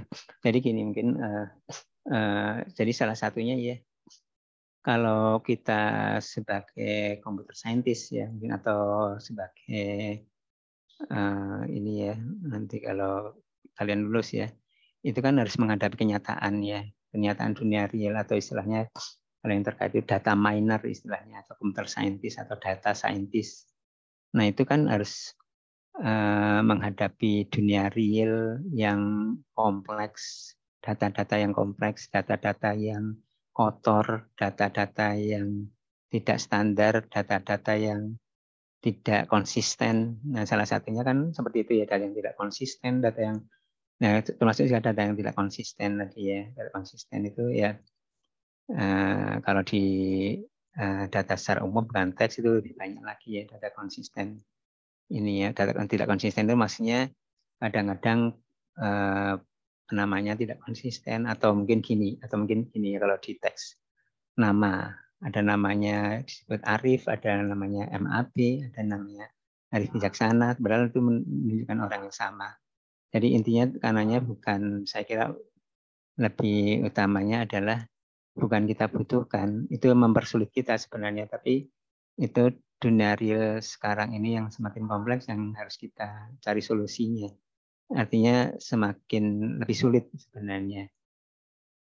Ya, semakin lebih sulit kan kalau ini uh, ini uh, apa representasi yang nggak sama untuk hal yang sama sebenarnya. Itu mungkin yang, yang uh, komentar saya seperti itu ya Pak Yu. Gimana menurut Pak Yu? Iya, makasih, makasih. Ya, mungkin kita lanjutkan. Pak, Lagi yang bertanya Pak. Ya, silakan Mbak. Mengenai pertanyaan sebelumnya sebenarnya nggak apa-apa Pak. Ya, silakan Mbak. Uh, tadi kan udah dibahas terkait feature selection sama feature expansion sama feature selection juga tadi sedikit ya. Uh, kalau konsep feature weighting itu apakah mirip atau persis dengan konsep-konsep yang telah dibahas tadi atau bagaimana Pak? Iya, terima kasih ya Kiko. uh, ya, um, ya. Jadi kalau weighting itu sebenarnya memberi bobot tingkat pentingnya. Memberi bobot itu semakin berbobotnya setinggi, semakin penting. Jadi gini ya. Jadi ini uh, fitur. Ya, ini secara umum ya bukan hanya teks. Ya fitur ya. Ini fitur kan ciri. Ya ciri. Seperti misalkan gini. Uh, kita klasifikasi di sini supaya lebih mudah dan kita memang sedang membicarakan klasifikasi. Ya, um, ya, bentar ini udah halamannya udah 20 udah. Dihapus. Uh, ini apa? Ya, eh, misalkan kita mempunyai satu objek dan ada ciri-cirinya. Ya, misalkan contohnya. Contohnya ciri itu kan ada yang penting, ada yang lebih penting, ada yang kurang penting. Contohnya apa? Mungkin eh, untuk mengklasifikasikan dia uh, kumpulan orang-orang atau siswa pelajar ya ada yang mahasiswa ada yang SMA SMP SD atau TK kalau fitur-fitur yang penting contohnya apa ciri-ciri dari orang tersebut atau siswa tersebut yang penting yang kita perlu kompilasi atau kita kolek kita data dari orang itu di hadapan kita atau kita amati atau kita punya datanya itu yang penting kira-kira fiturnya apa ciri apa yang penting. Untuk membedakan kelasnya itu adalah TK, SD, SMP, mahasiswa. Fitur apa yang penting? Warna sepatu, membedakan anak TK, SD, SMP, SMA, enggak kan? Enggak penting. Nah, bahkan mungkin yang sepatu merah, sepatu hitam ya sama saja dari anak TK sampai anak mahasiswa ya. Uh, yang penting misalkan Contohnya seragamnya, tingginya, ya, eh, kemudian dari sisi fisiknya seperti itu ya. Artinya ada yang fitur itu diberi bobot tinggi, ada itu diberi bobot rendah. Nah, kemudian bobot tadi ada yang namanya TF, IDF, dan lain-lain.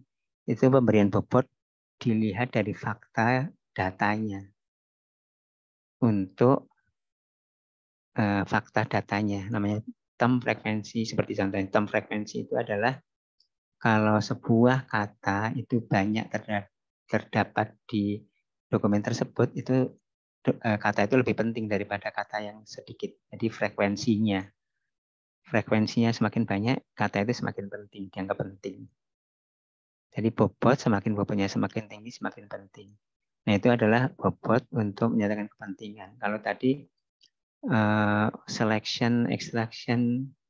Nah itu sebenarnya bagaimana memilih term tersebut yang dianggap lebih penting. Uh, salah satu cara sederhana yaitu apa yang disebut dengan dengan frekuensi juga yang disebut dengan dokumen frekuensi. Dokumen frekuensi itu adalah semakin dia banyak terdapat di dokumen sebuah term, kata ini ada di banyak dokumen itu semakin penting sebenarnya tidak terkait langsung ya antara fitur selection atau extraction dengan pembobotan tidak terkait langsung. Hanya salah satu cara untuk menseleksi itu adalah dengan bobot khususnya dengan TF. Salah satu cara sederhana adalah TF, term frekuensi. Eh, bukan TF, maaf salah. DF, maaf salah ya. Dokumen frekuensi. Dokumen frekuensi salah satunya cara, bukan TF ya. Dokumen frekuensi. Ya, dokumen frekuensi itu uh, satu term, satu kata mempunyai satu satu angka di F. Jadi secara tidak langsung bisa dengan eh, angka-angka uh, yang lain ya. Jadi uh, antara pembobotan dengan seleksi pengurangan fitur tadi itu ini hanya salah satu cara dan itu um, sebenarnya berbeda ya. Artinya uh, pembobotan itu gunanya untuk memberi bobot mana yang lebih penting misalkan untuk klasifikasi dianggap ciri yang penting dan ciri yang tidak kurang penting. berdasarkan biasanya statistik di data tersebut, bukan dari uh, expert judgment, misalkan gitu ya, dari orang expert atau subjektivitas gitu, tapi biasanya dari secara otomatis dari statistical data di situ. Ya, seperti itu. Maaf kalau ada contohnya di sini tadi uh, tadi TF-IDF mungkin ya. Yang sekarang jarang dipakai, yang dulu sangat-sangat sangat populer ya sejak puluhan tahun yang lalu. Ya, ya mungkin saya kira seperti itu. Ikiko mungkin kalau ada komentar silakan. Kita lanjut. Cukup jelas Pak. Oh iya, kita lanjutkan. Uh, apakah ada perbedaan lain antara klasifikasi teks dan data numerik selain fitur yang digunakan? Uh, ya, yeah. uh, uh, datanya teks dengan uh, datanya numerik ya. Kalau teks itu saya kira nggak punya tingkat-tingkat ya. Apakah A, B, C, D, E huruf atau dat atau kata. Kalau numerik itu punya tingkatan, artinya punya bobot rendah dan bobot tinggi. Ya, bobot rendah, bobot tinggi ya. Uh, bobot rendah, bobot tinggi. Jadi kalau digambarkan mungkin saya seperti ini ya. Uh, kalau misalkan uh, ini apa? Um, bersihkan semua gambar. Ya, jadi gini apa? Um, kalau ini ya apa? Misalkan contohnya multi layer perceptron ya ini inputnya di kanan kiri aja input outputnya di kanan ya nah di sini inputnya itu misalkan kata-kata kata ya kita levelnya kata unitnya kata nah kata satu dengan kata yang lain misalkan dengan vektor ini vektor vektor meaning meaning vektor dengan bertu vektor ya ini satu dengan yang lain tidak ada yang lebih tinggi antara satu dengan yang lain ya Nah, kemudian ini hidden layer, ya ini many to many di sini. Ya. Kemudian di sini ada bobot, ya ini antara satu dengan yang lain tidak ada yang mana lebih tinggi, mana lebih rendah.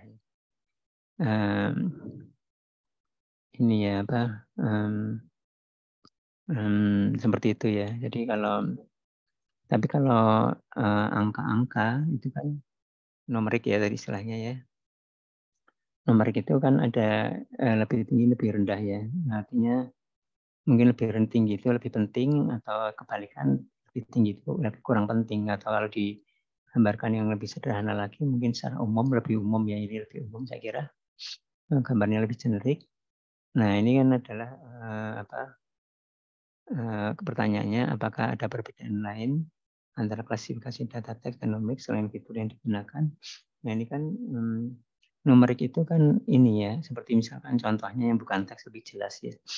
Ini uh, misalnya ini apa? Misalkan penghasilan.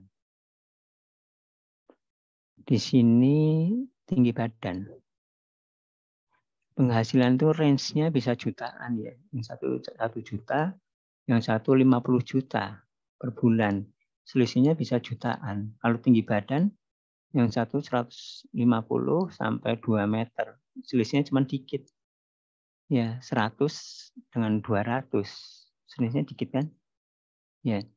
Um, selisihnya dikit. Eh, artinya kalau di sini misalkan dinormalisasikan. Nah, kemudian juga semakin tinggi kan semakin penting misalkan. Kalau penghasilan berarti semakin tinggi semakin penting dibandingkan untuk targetnya itu udah kelas.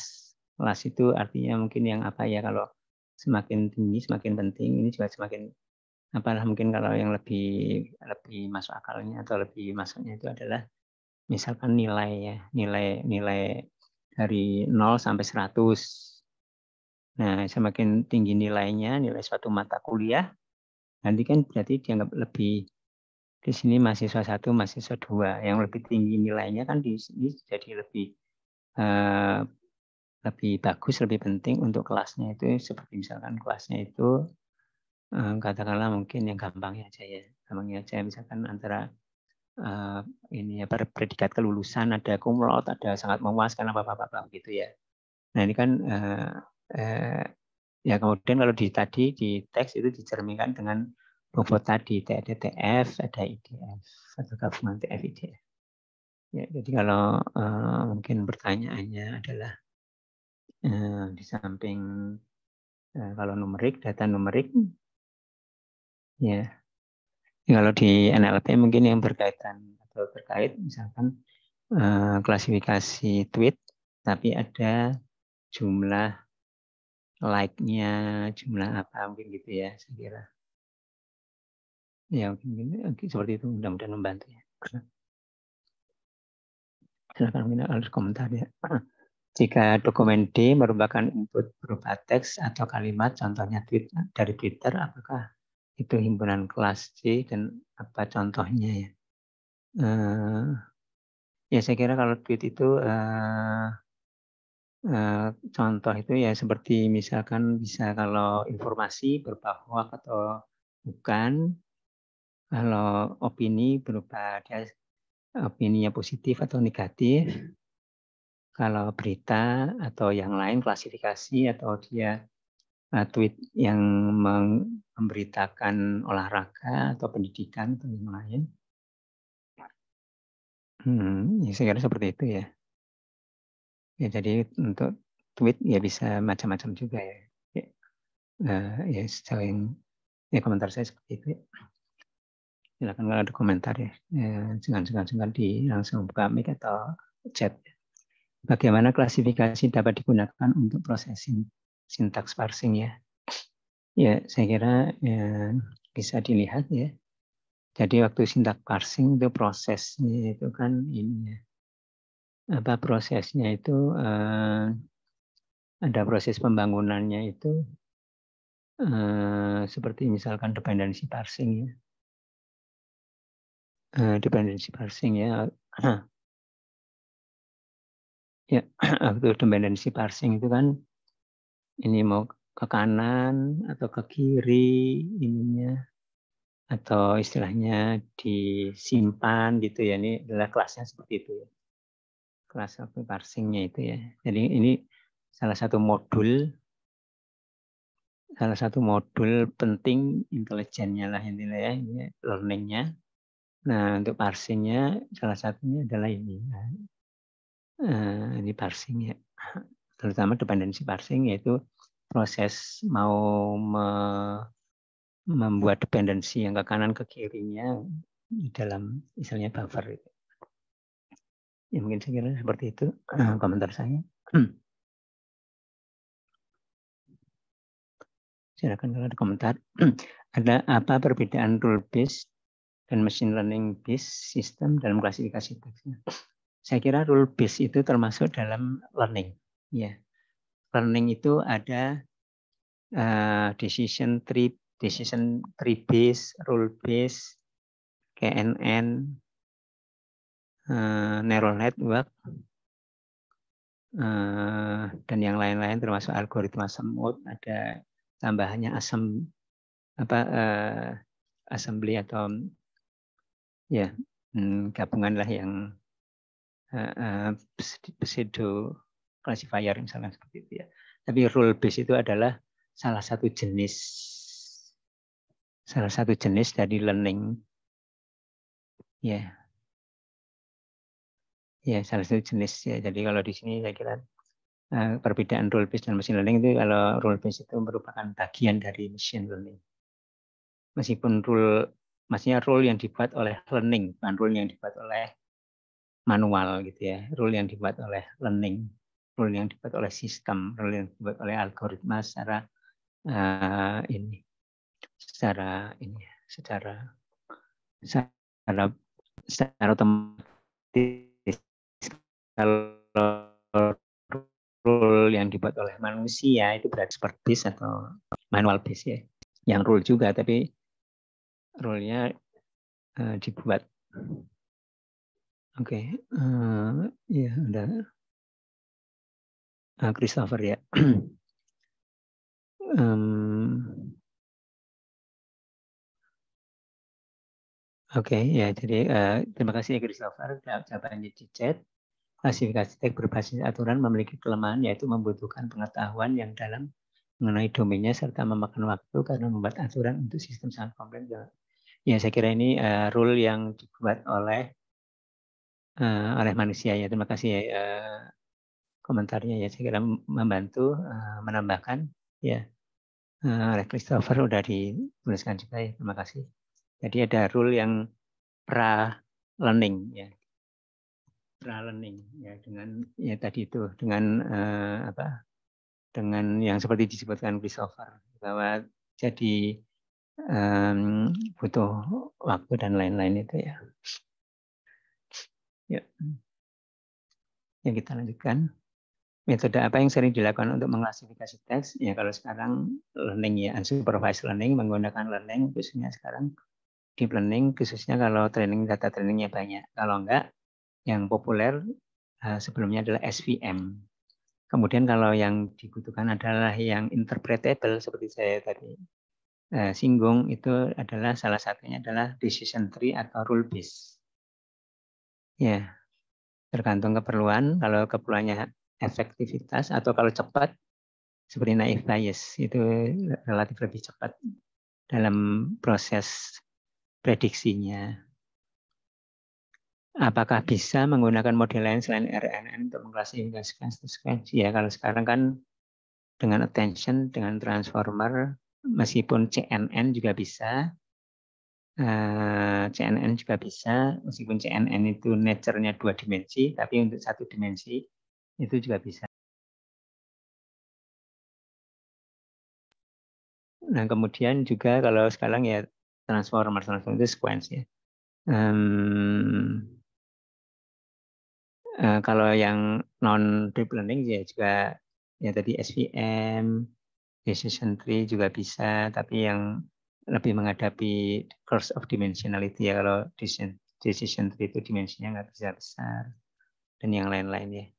Tapi intinya kalau datanya cukup, data trainingnya ya sekarang pilihannya biasanya yang ini ya neural network disk ya deep learning disk ya ada sentimen analisis atau bentuk lain selain positif negatif. Saya udah tadi. Apakah himpunan fitur itu wajib diterapkan pada classifier? Ya saya kira semua objek itu punya harus punya fitur. Meskipun fiturnya itu adalah fitur asli, ya fitur asli itu artinya huruf atau kemudian itu ya eh, kata, ya. Jadi eh, fitur itu bisa fitur atau gini bisa end to end, Ya, N itu adalah data teks. Langsung aja di sini kelas. Itu artinya end to end, tapi ada ada proses-proses pembangunan ini fiturnya itu otomatis di sini atau representasinya otomatis revolution learning. Jadi end to end. Jadi uh, tidak terlalu banyak campur tangan manusia atau expert linguist misalkan.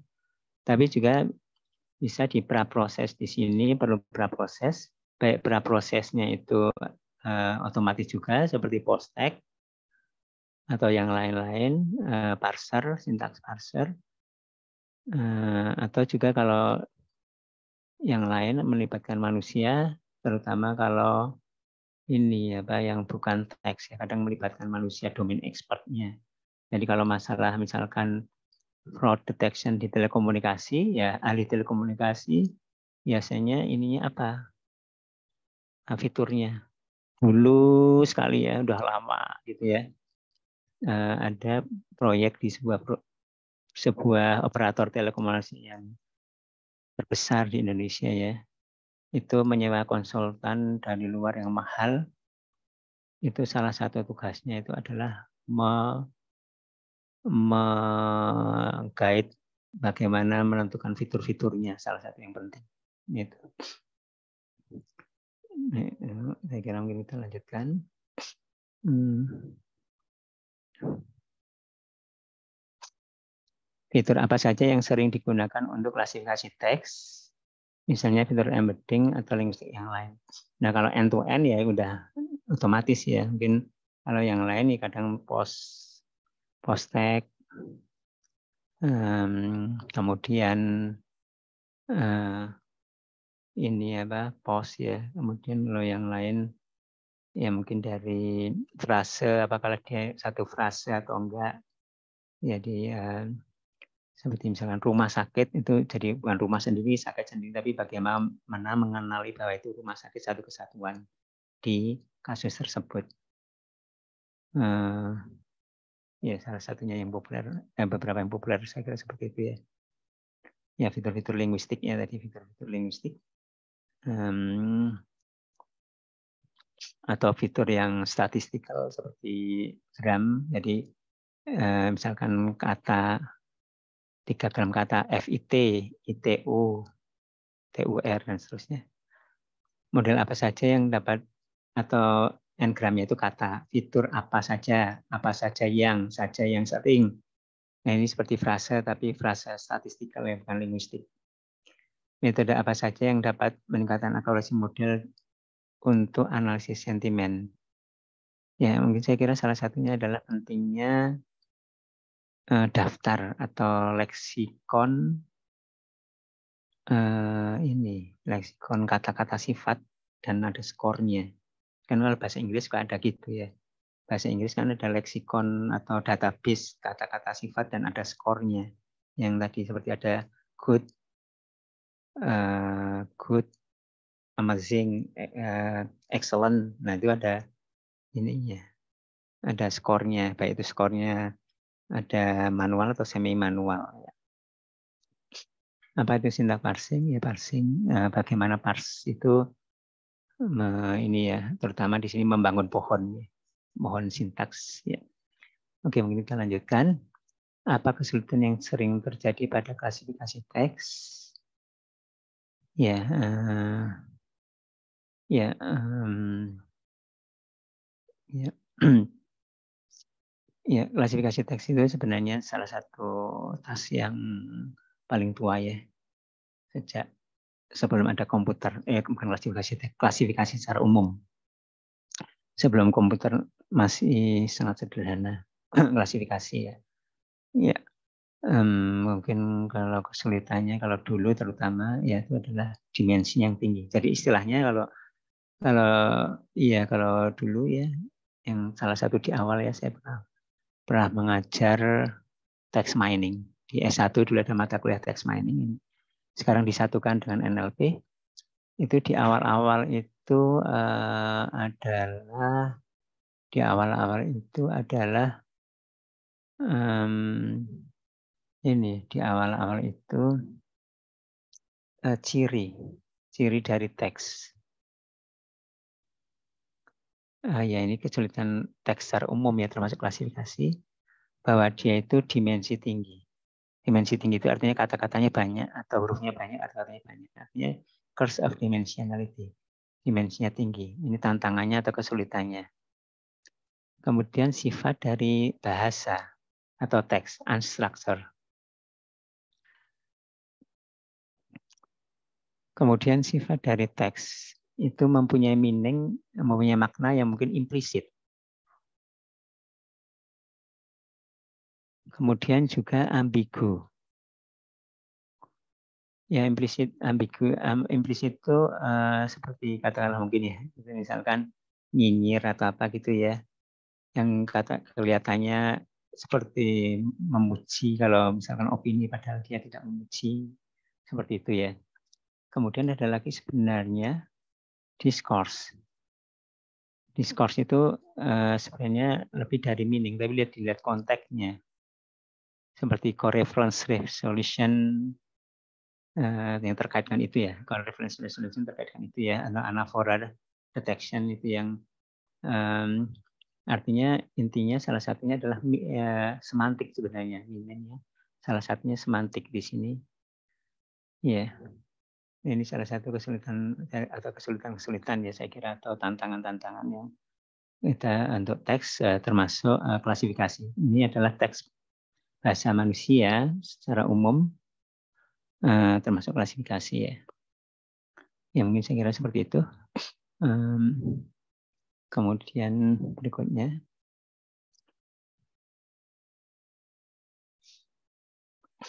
Eh, dalam mengklasifikasikan suatu teks terdapat label pada teksnya. Jadi tadi pasangan atau mappingnya, mapping antara teks dengan labelnya, map antara objek di mana objek itu teks dengan labelnya. bagaimana jika label yang diberikan terhadap suatu teks kurang sesuai, apakah sangat berpengaruh terhadap hasil yang diberikan. Ya, ini katakanlah istilah yang sangat populer garbage in, garbage out. Iya. Garbage in, garbage out. Jadi kalau data training, misalkan gini, kita belajar, misalkan kalkulus, eh, mau ujian kalkulus atau ujian sejarah aja lah gitu ya. Ujian sejarah. Ujian sejarah. Uh, ujiannya yang ya katakanlah ini multiple choice. Kita belajar dari tanya jawab tanya jawab. Ada pertanyaan ada kuncinya, pertanyaan ada kuncinya, pertanyaan ada kuncinya. Nah kuncinya itu banyak yang salah. Nah itu garbage in, garbage out. Ya, sehingga yang sangat diperhatikan khususnya di dunia nyata kalau kita bekerja salah satunya kita bekerja itu bukan hanya secara teknis menentukan classifier menjalankan memilih tapi menyiapkan data training yang itu bisa butuh lama dan resource yang uh, butuh lama dan mungkin mahal sehingga apa realnya ini real ya. Real sekarang. Bahasa Indonesia. Banyak tas-tas bahasa Indonesia seperti opinion mining, klasifikasi, machine translation, dan lain-lain. Machine translation itu artinya bukan label, tapi paralel data, data paralel.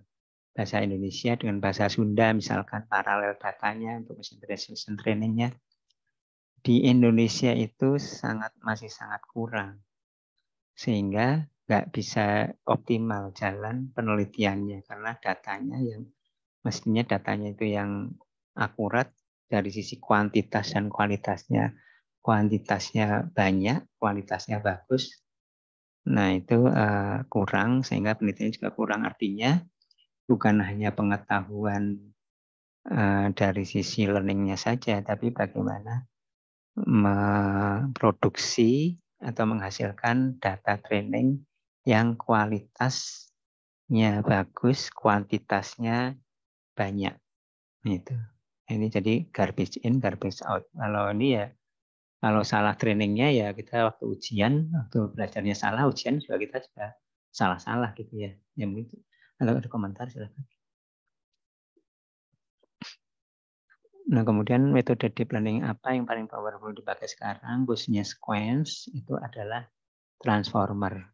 Yang intinya salah satunya adalah attention sequence base, seperti RNN, eh, dan attention yang relatif sederhana sebenarnya, tapi kemudian sangat powerful karena kemudian dipakai dengan pre-training yang transformer base seperti BERT.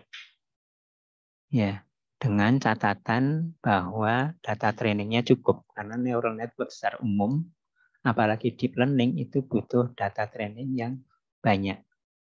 Kalau data trainingnya tidak banyak, nah itu eh, tidak bisa sesuai ya. Jadi kalau digambarkan dengan gambar yang sederhana, ya ini data trainingnya, volume data trainingnya ya, skalabilitasnya atau volumenya, ini performansinya atau efektivitasnya atau ininya, uh, akurasinya ya.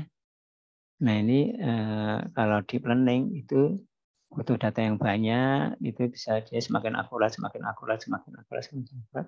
Kalau yang bukan itu, di sini udah akurat, lebih akurat daripada deep learning. Tapi di sini kalau datanya banyak, ini memang butuh data banyak deep learning. Nah, kalau ini yang bukan deep learning, ini kasarnya lah, ini seperti ini. Tidak bisa naik ini yang non deep learning. Sehingga kalau data trainnya sedikit, istilahnya adalah low resource. Resource itu maksudnya uh, data trainingnya ya. Kalau untuk supervised learning.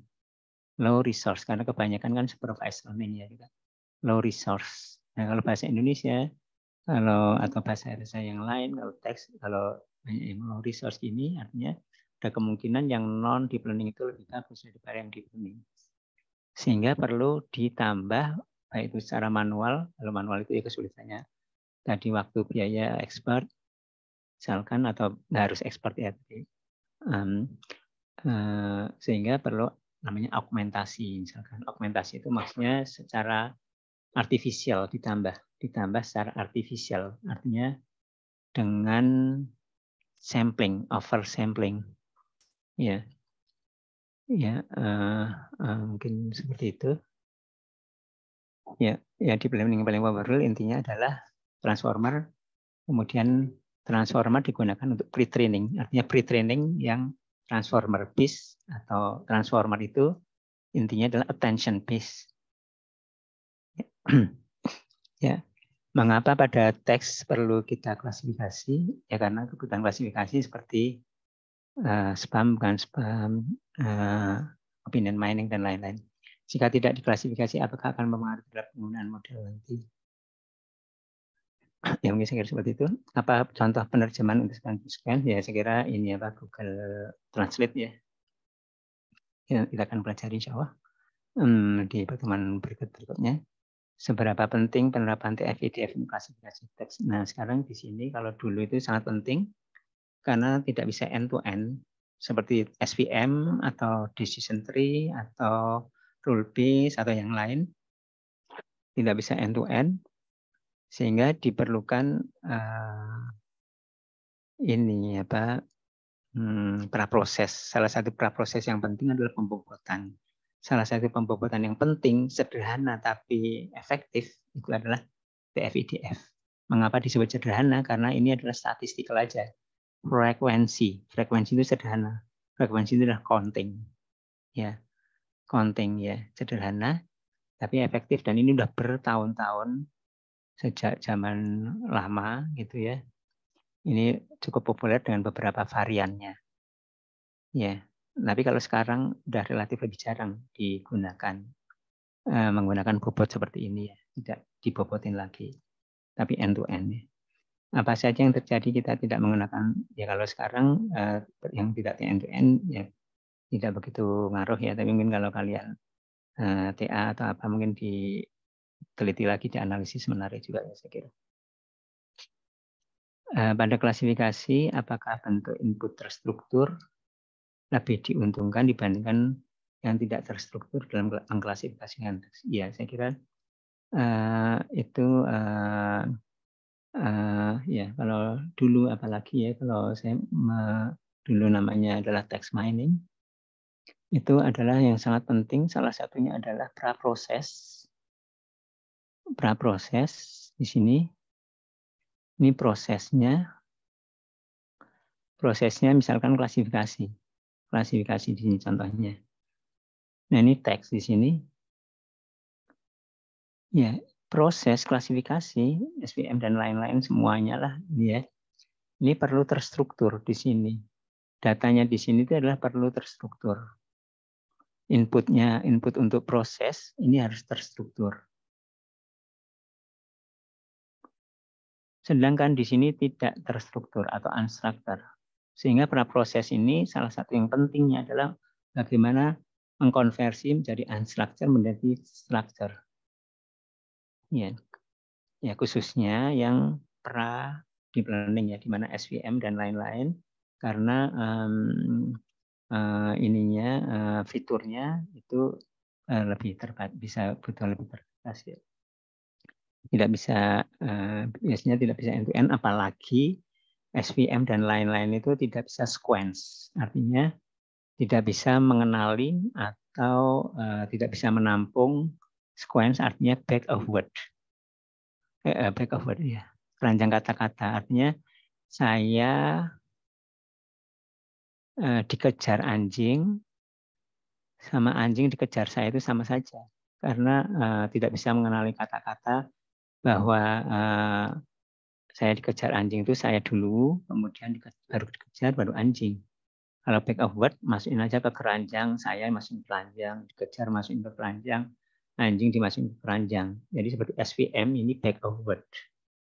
Ya, ini uh, terstrukturnya back of word. Kalau sekarang terstrukturnya di sini harus sequence.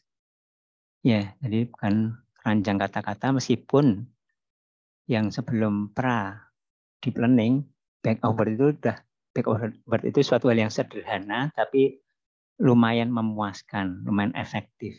Tapi dengan adanya deep learning lebih efektif lagi, lebih akurat lagi. Ya gitu. Jadi kalau uh, pertanyaannya di sini um, adalah ini ya, ada klasifikasi apakah input terstruktur lebih diuntungkan? Uh, ini apa? Ya secara umum kalau uh, ini apa? Uh, kalau yang dimaksud uh, berstruktur itu tadi ini ya Pak seperti uh, yang dimaksud di berstruktur itu seperti ini ya seperti tabel gitu ya tabel RDBMS ya. Di yang dimaksud berstruktur itu adalah ini ya Pak ini ada fiturnya itu sudah pasti. Ini fitur apa fitur apa fitur apa fitur apa. Seperti misalkan di sini adalah hobi atau form kalau form atau isi isi di sini uh, tanggal lahir apa tempat lahir. Ini misalkan apa misalkan alamat dan lain dan lain ini namanya berstruktur.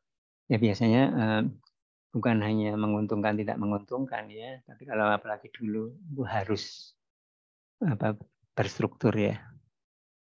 Dan ya, kalau di sini jawabannya secara umum atau ya banyaknya ya berstruktur lebih menguntungkan. Karena classifiernya itu ya memang harus berstruktur bagaimana cara tahu bahwa hasil klasifikasi cukup akurat? Ya dengan eksperimen hasil eksperimen dan ada cara mengukurnya, ada tesnya.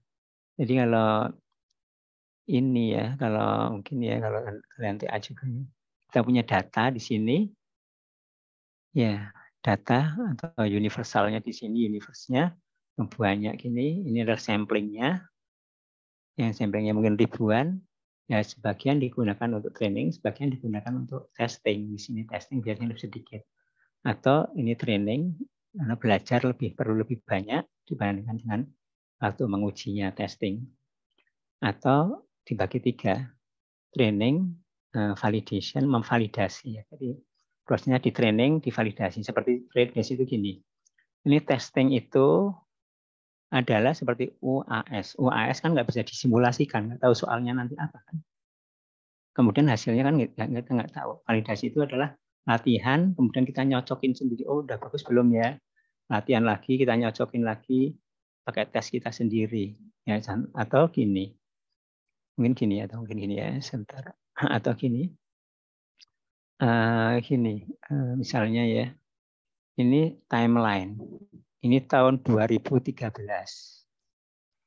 Eh, 2023 mah. 2023. Ini kan belum belum terjadi 2023 kita mempunyai data dari 2021 sampai 2022 sekarang ya. Eh 2021 sampai 2022 kita punya data di sini. Ya. Nah, kini um, uh, artinya ini dipakai untuk nanti oleh user misalkan untuk klien ya kan untuk ke depan-depannya. Nah, ini kan kita harus uh, data yang ada dari sejarah yang udah ada, kita bagi untuk sebagai training dan validation. Ya, seperti contohnya misalkan gini ya. Contohnya misalkan ini adalah mau ini mau UAS di sini. Kita udah punya ini kumpulan soal jawab.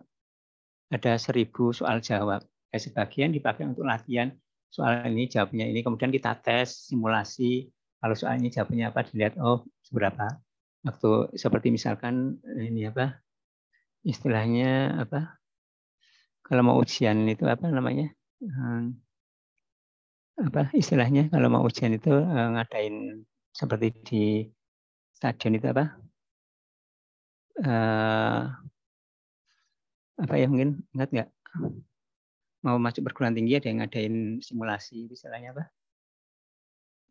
Hmm.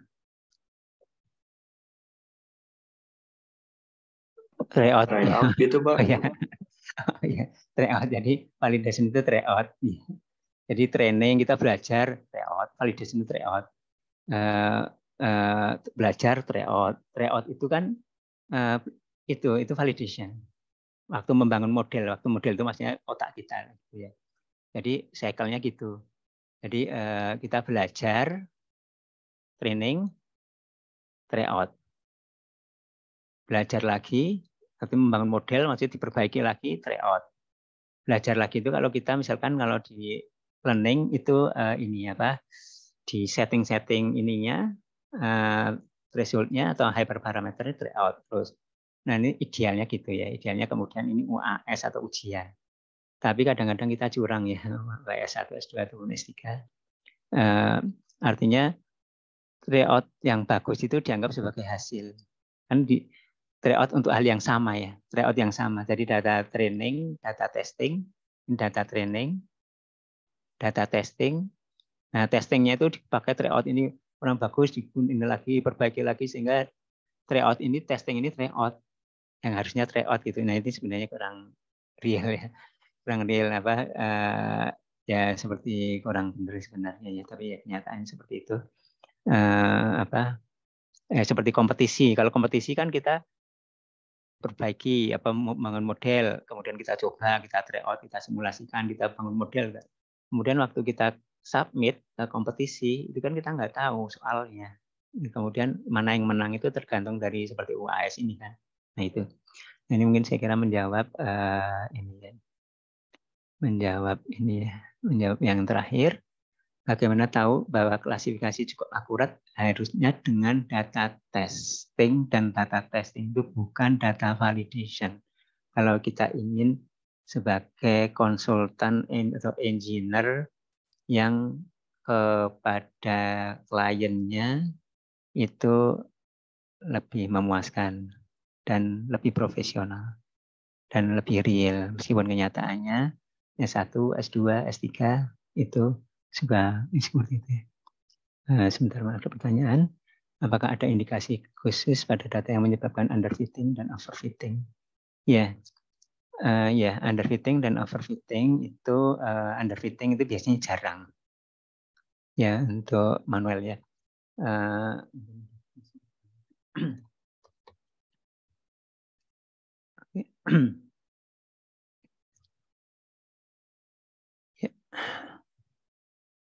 Ya, underfitting itu uh, jarang ya.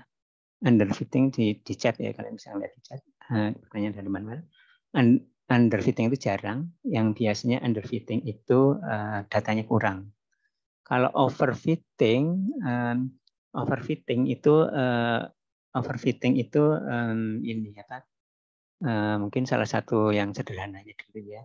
Overfitting itu kita mem lebih memuaskan ke data training data memuaskan itu maksudnya memuaskan itu maksudnya adalah outlier diakomodasi. Salah satunya outlier diakomodasi. Seperti misalkan contoh sederhananya gini.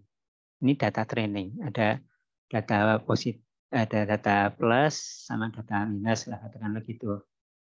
Ini plus, ini ini sederhana dua dimensi ya. Ini visualisasi sederhana. Ya, kita overfitting. Overfitting itu overfit waktu kita waktu kita fitting baju misalkan mencoba-coba atau apa untuk beberapa orang kita akan menentukan model atau ukuran baju. Oh, nah ini kita nah ini contoh sederhananya ya. Contoh sederhananya dua dimensi plus itu kelas kelas plus dan minus kelas minus atau kelas A kelas B lah gitu ya kelas A kelas B. Nah ini ada minus di sini satu. Iya minus di sini satu. Ini ada minus-minus, mungkin contoh sederhananya satu gitu aja. Nah, kalau kita mengoverfit, overfit training ya, memuaskan training, memuaskan itu maksudnya memuaskan itu maksudnya salah satu yang penting mengakomodasi sebenarnya outlier. Ini outlier. Ini outlier sebenarnya. Seperti misalkan membedakan anak SD dengan mahasiswa.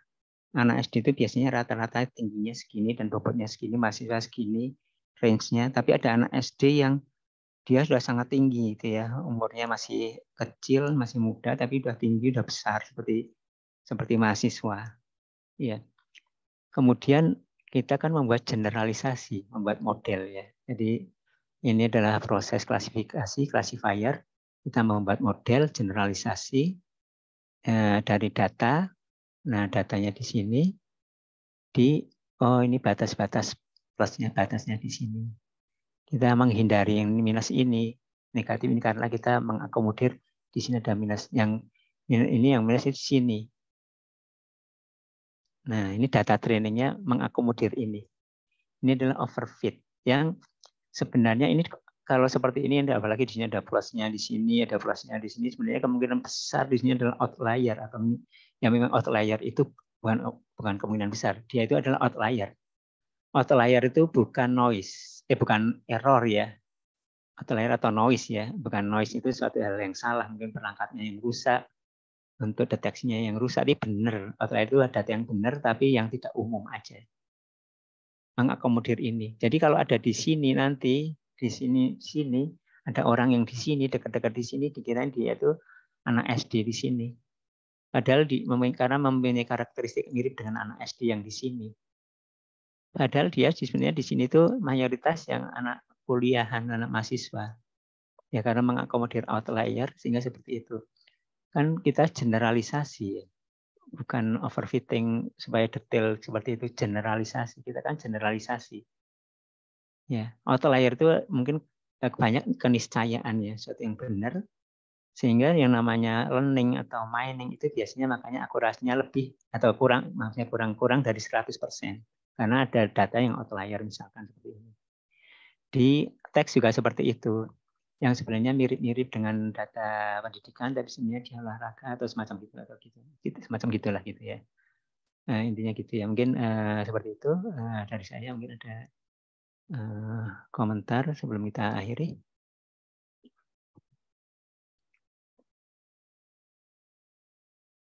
Oke, kalau nggak ada lagi, bisa kita kita cukupkan untuk pertemuan kali ini. Semoga bermanfaat.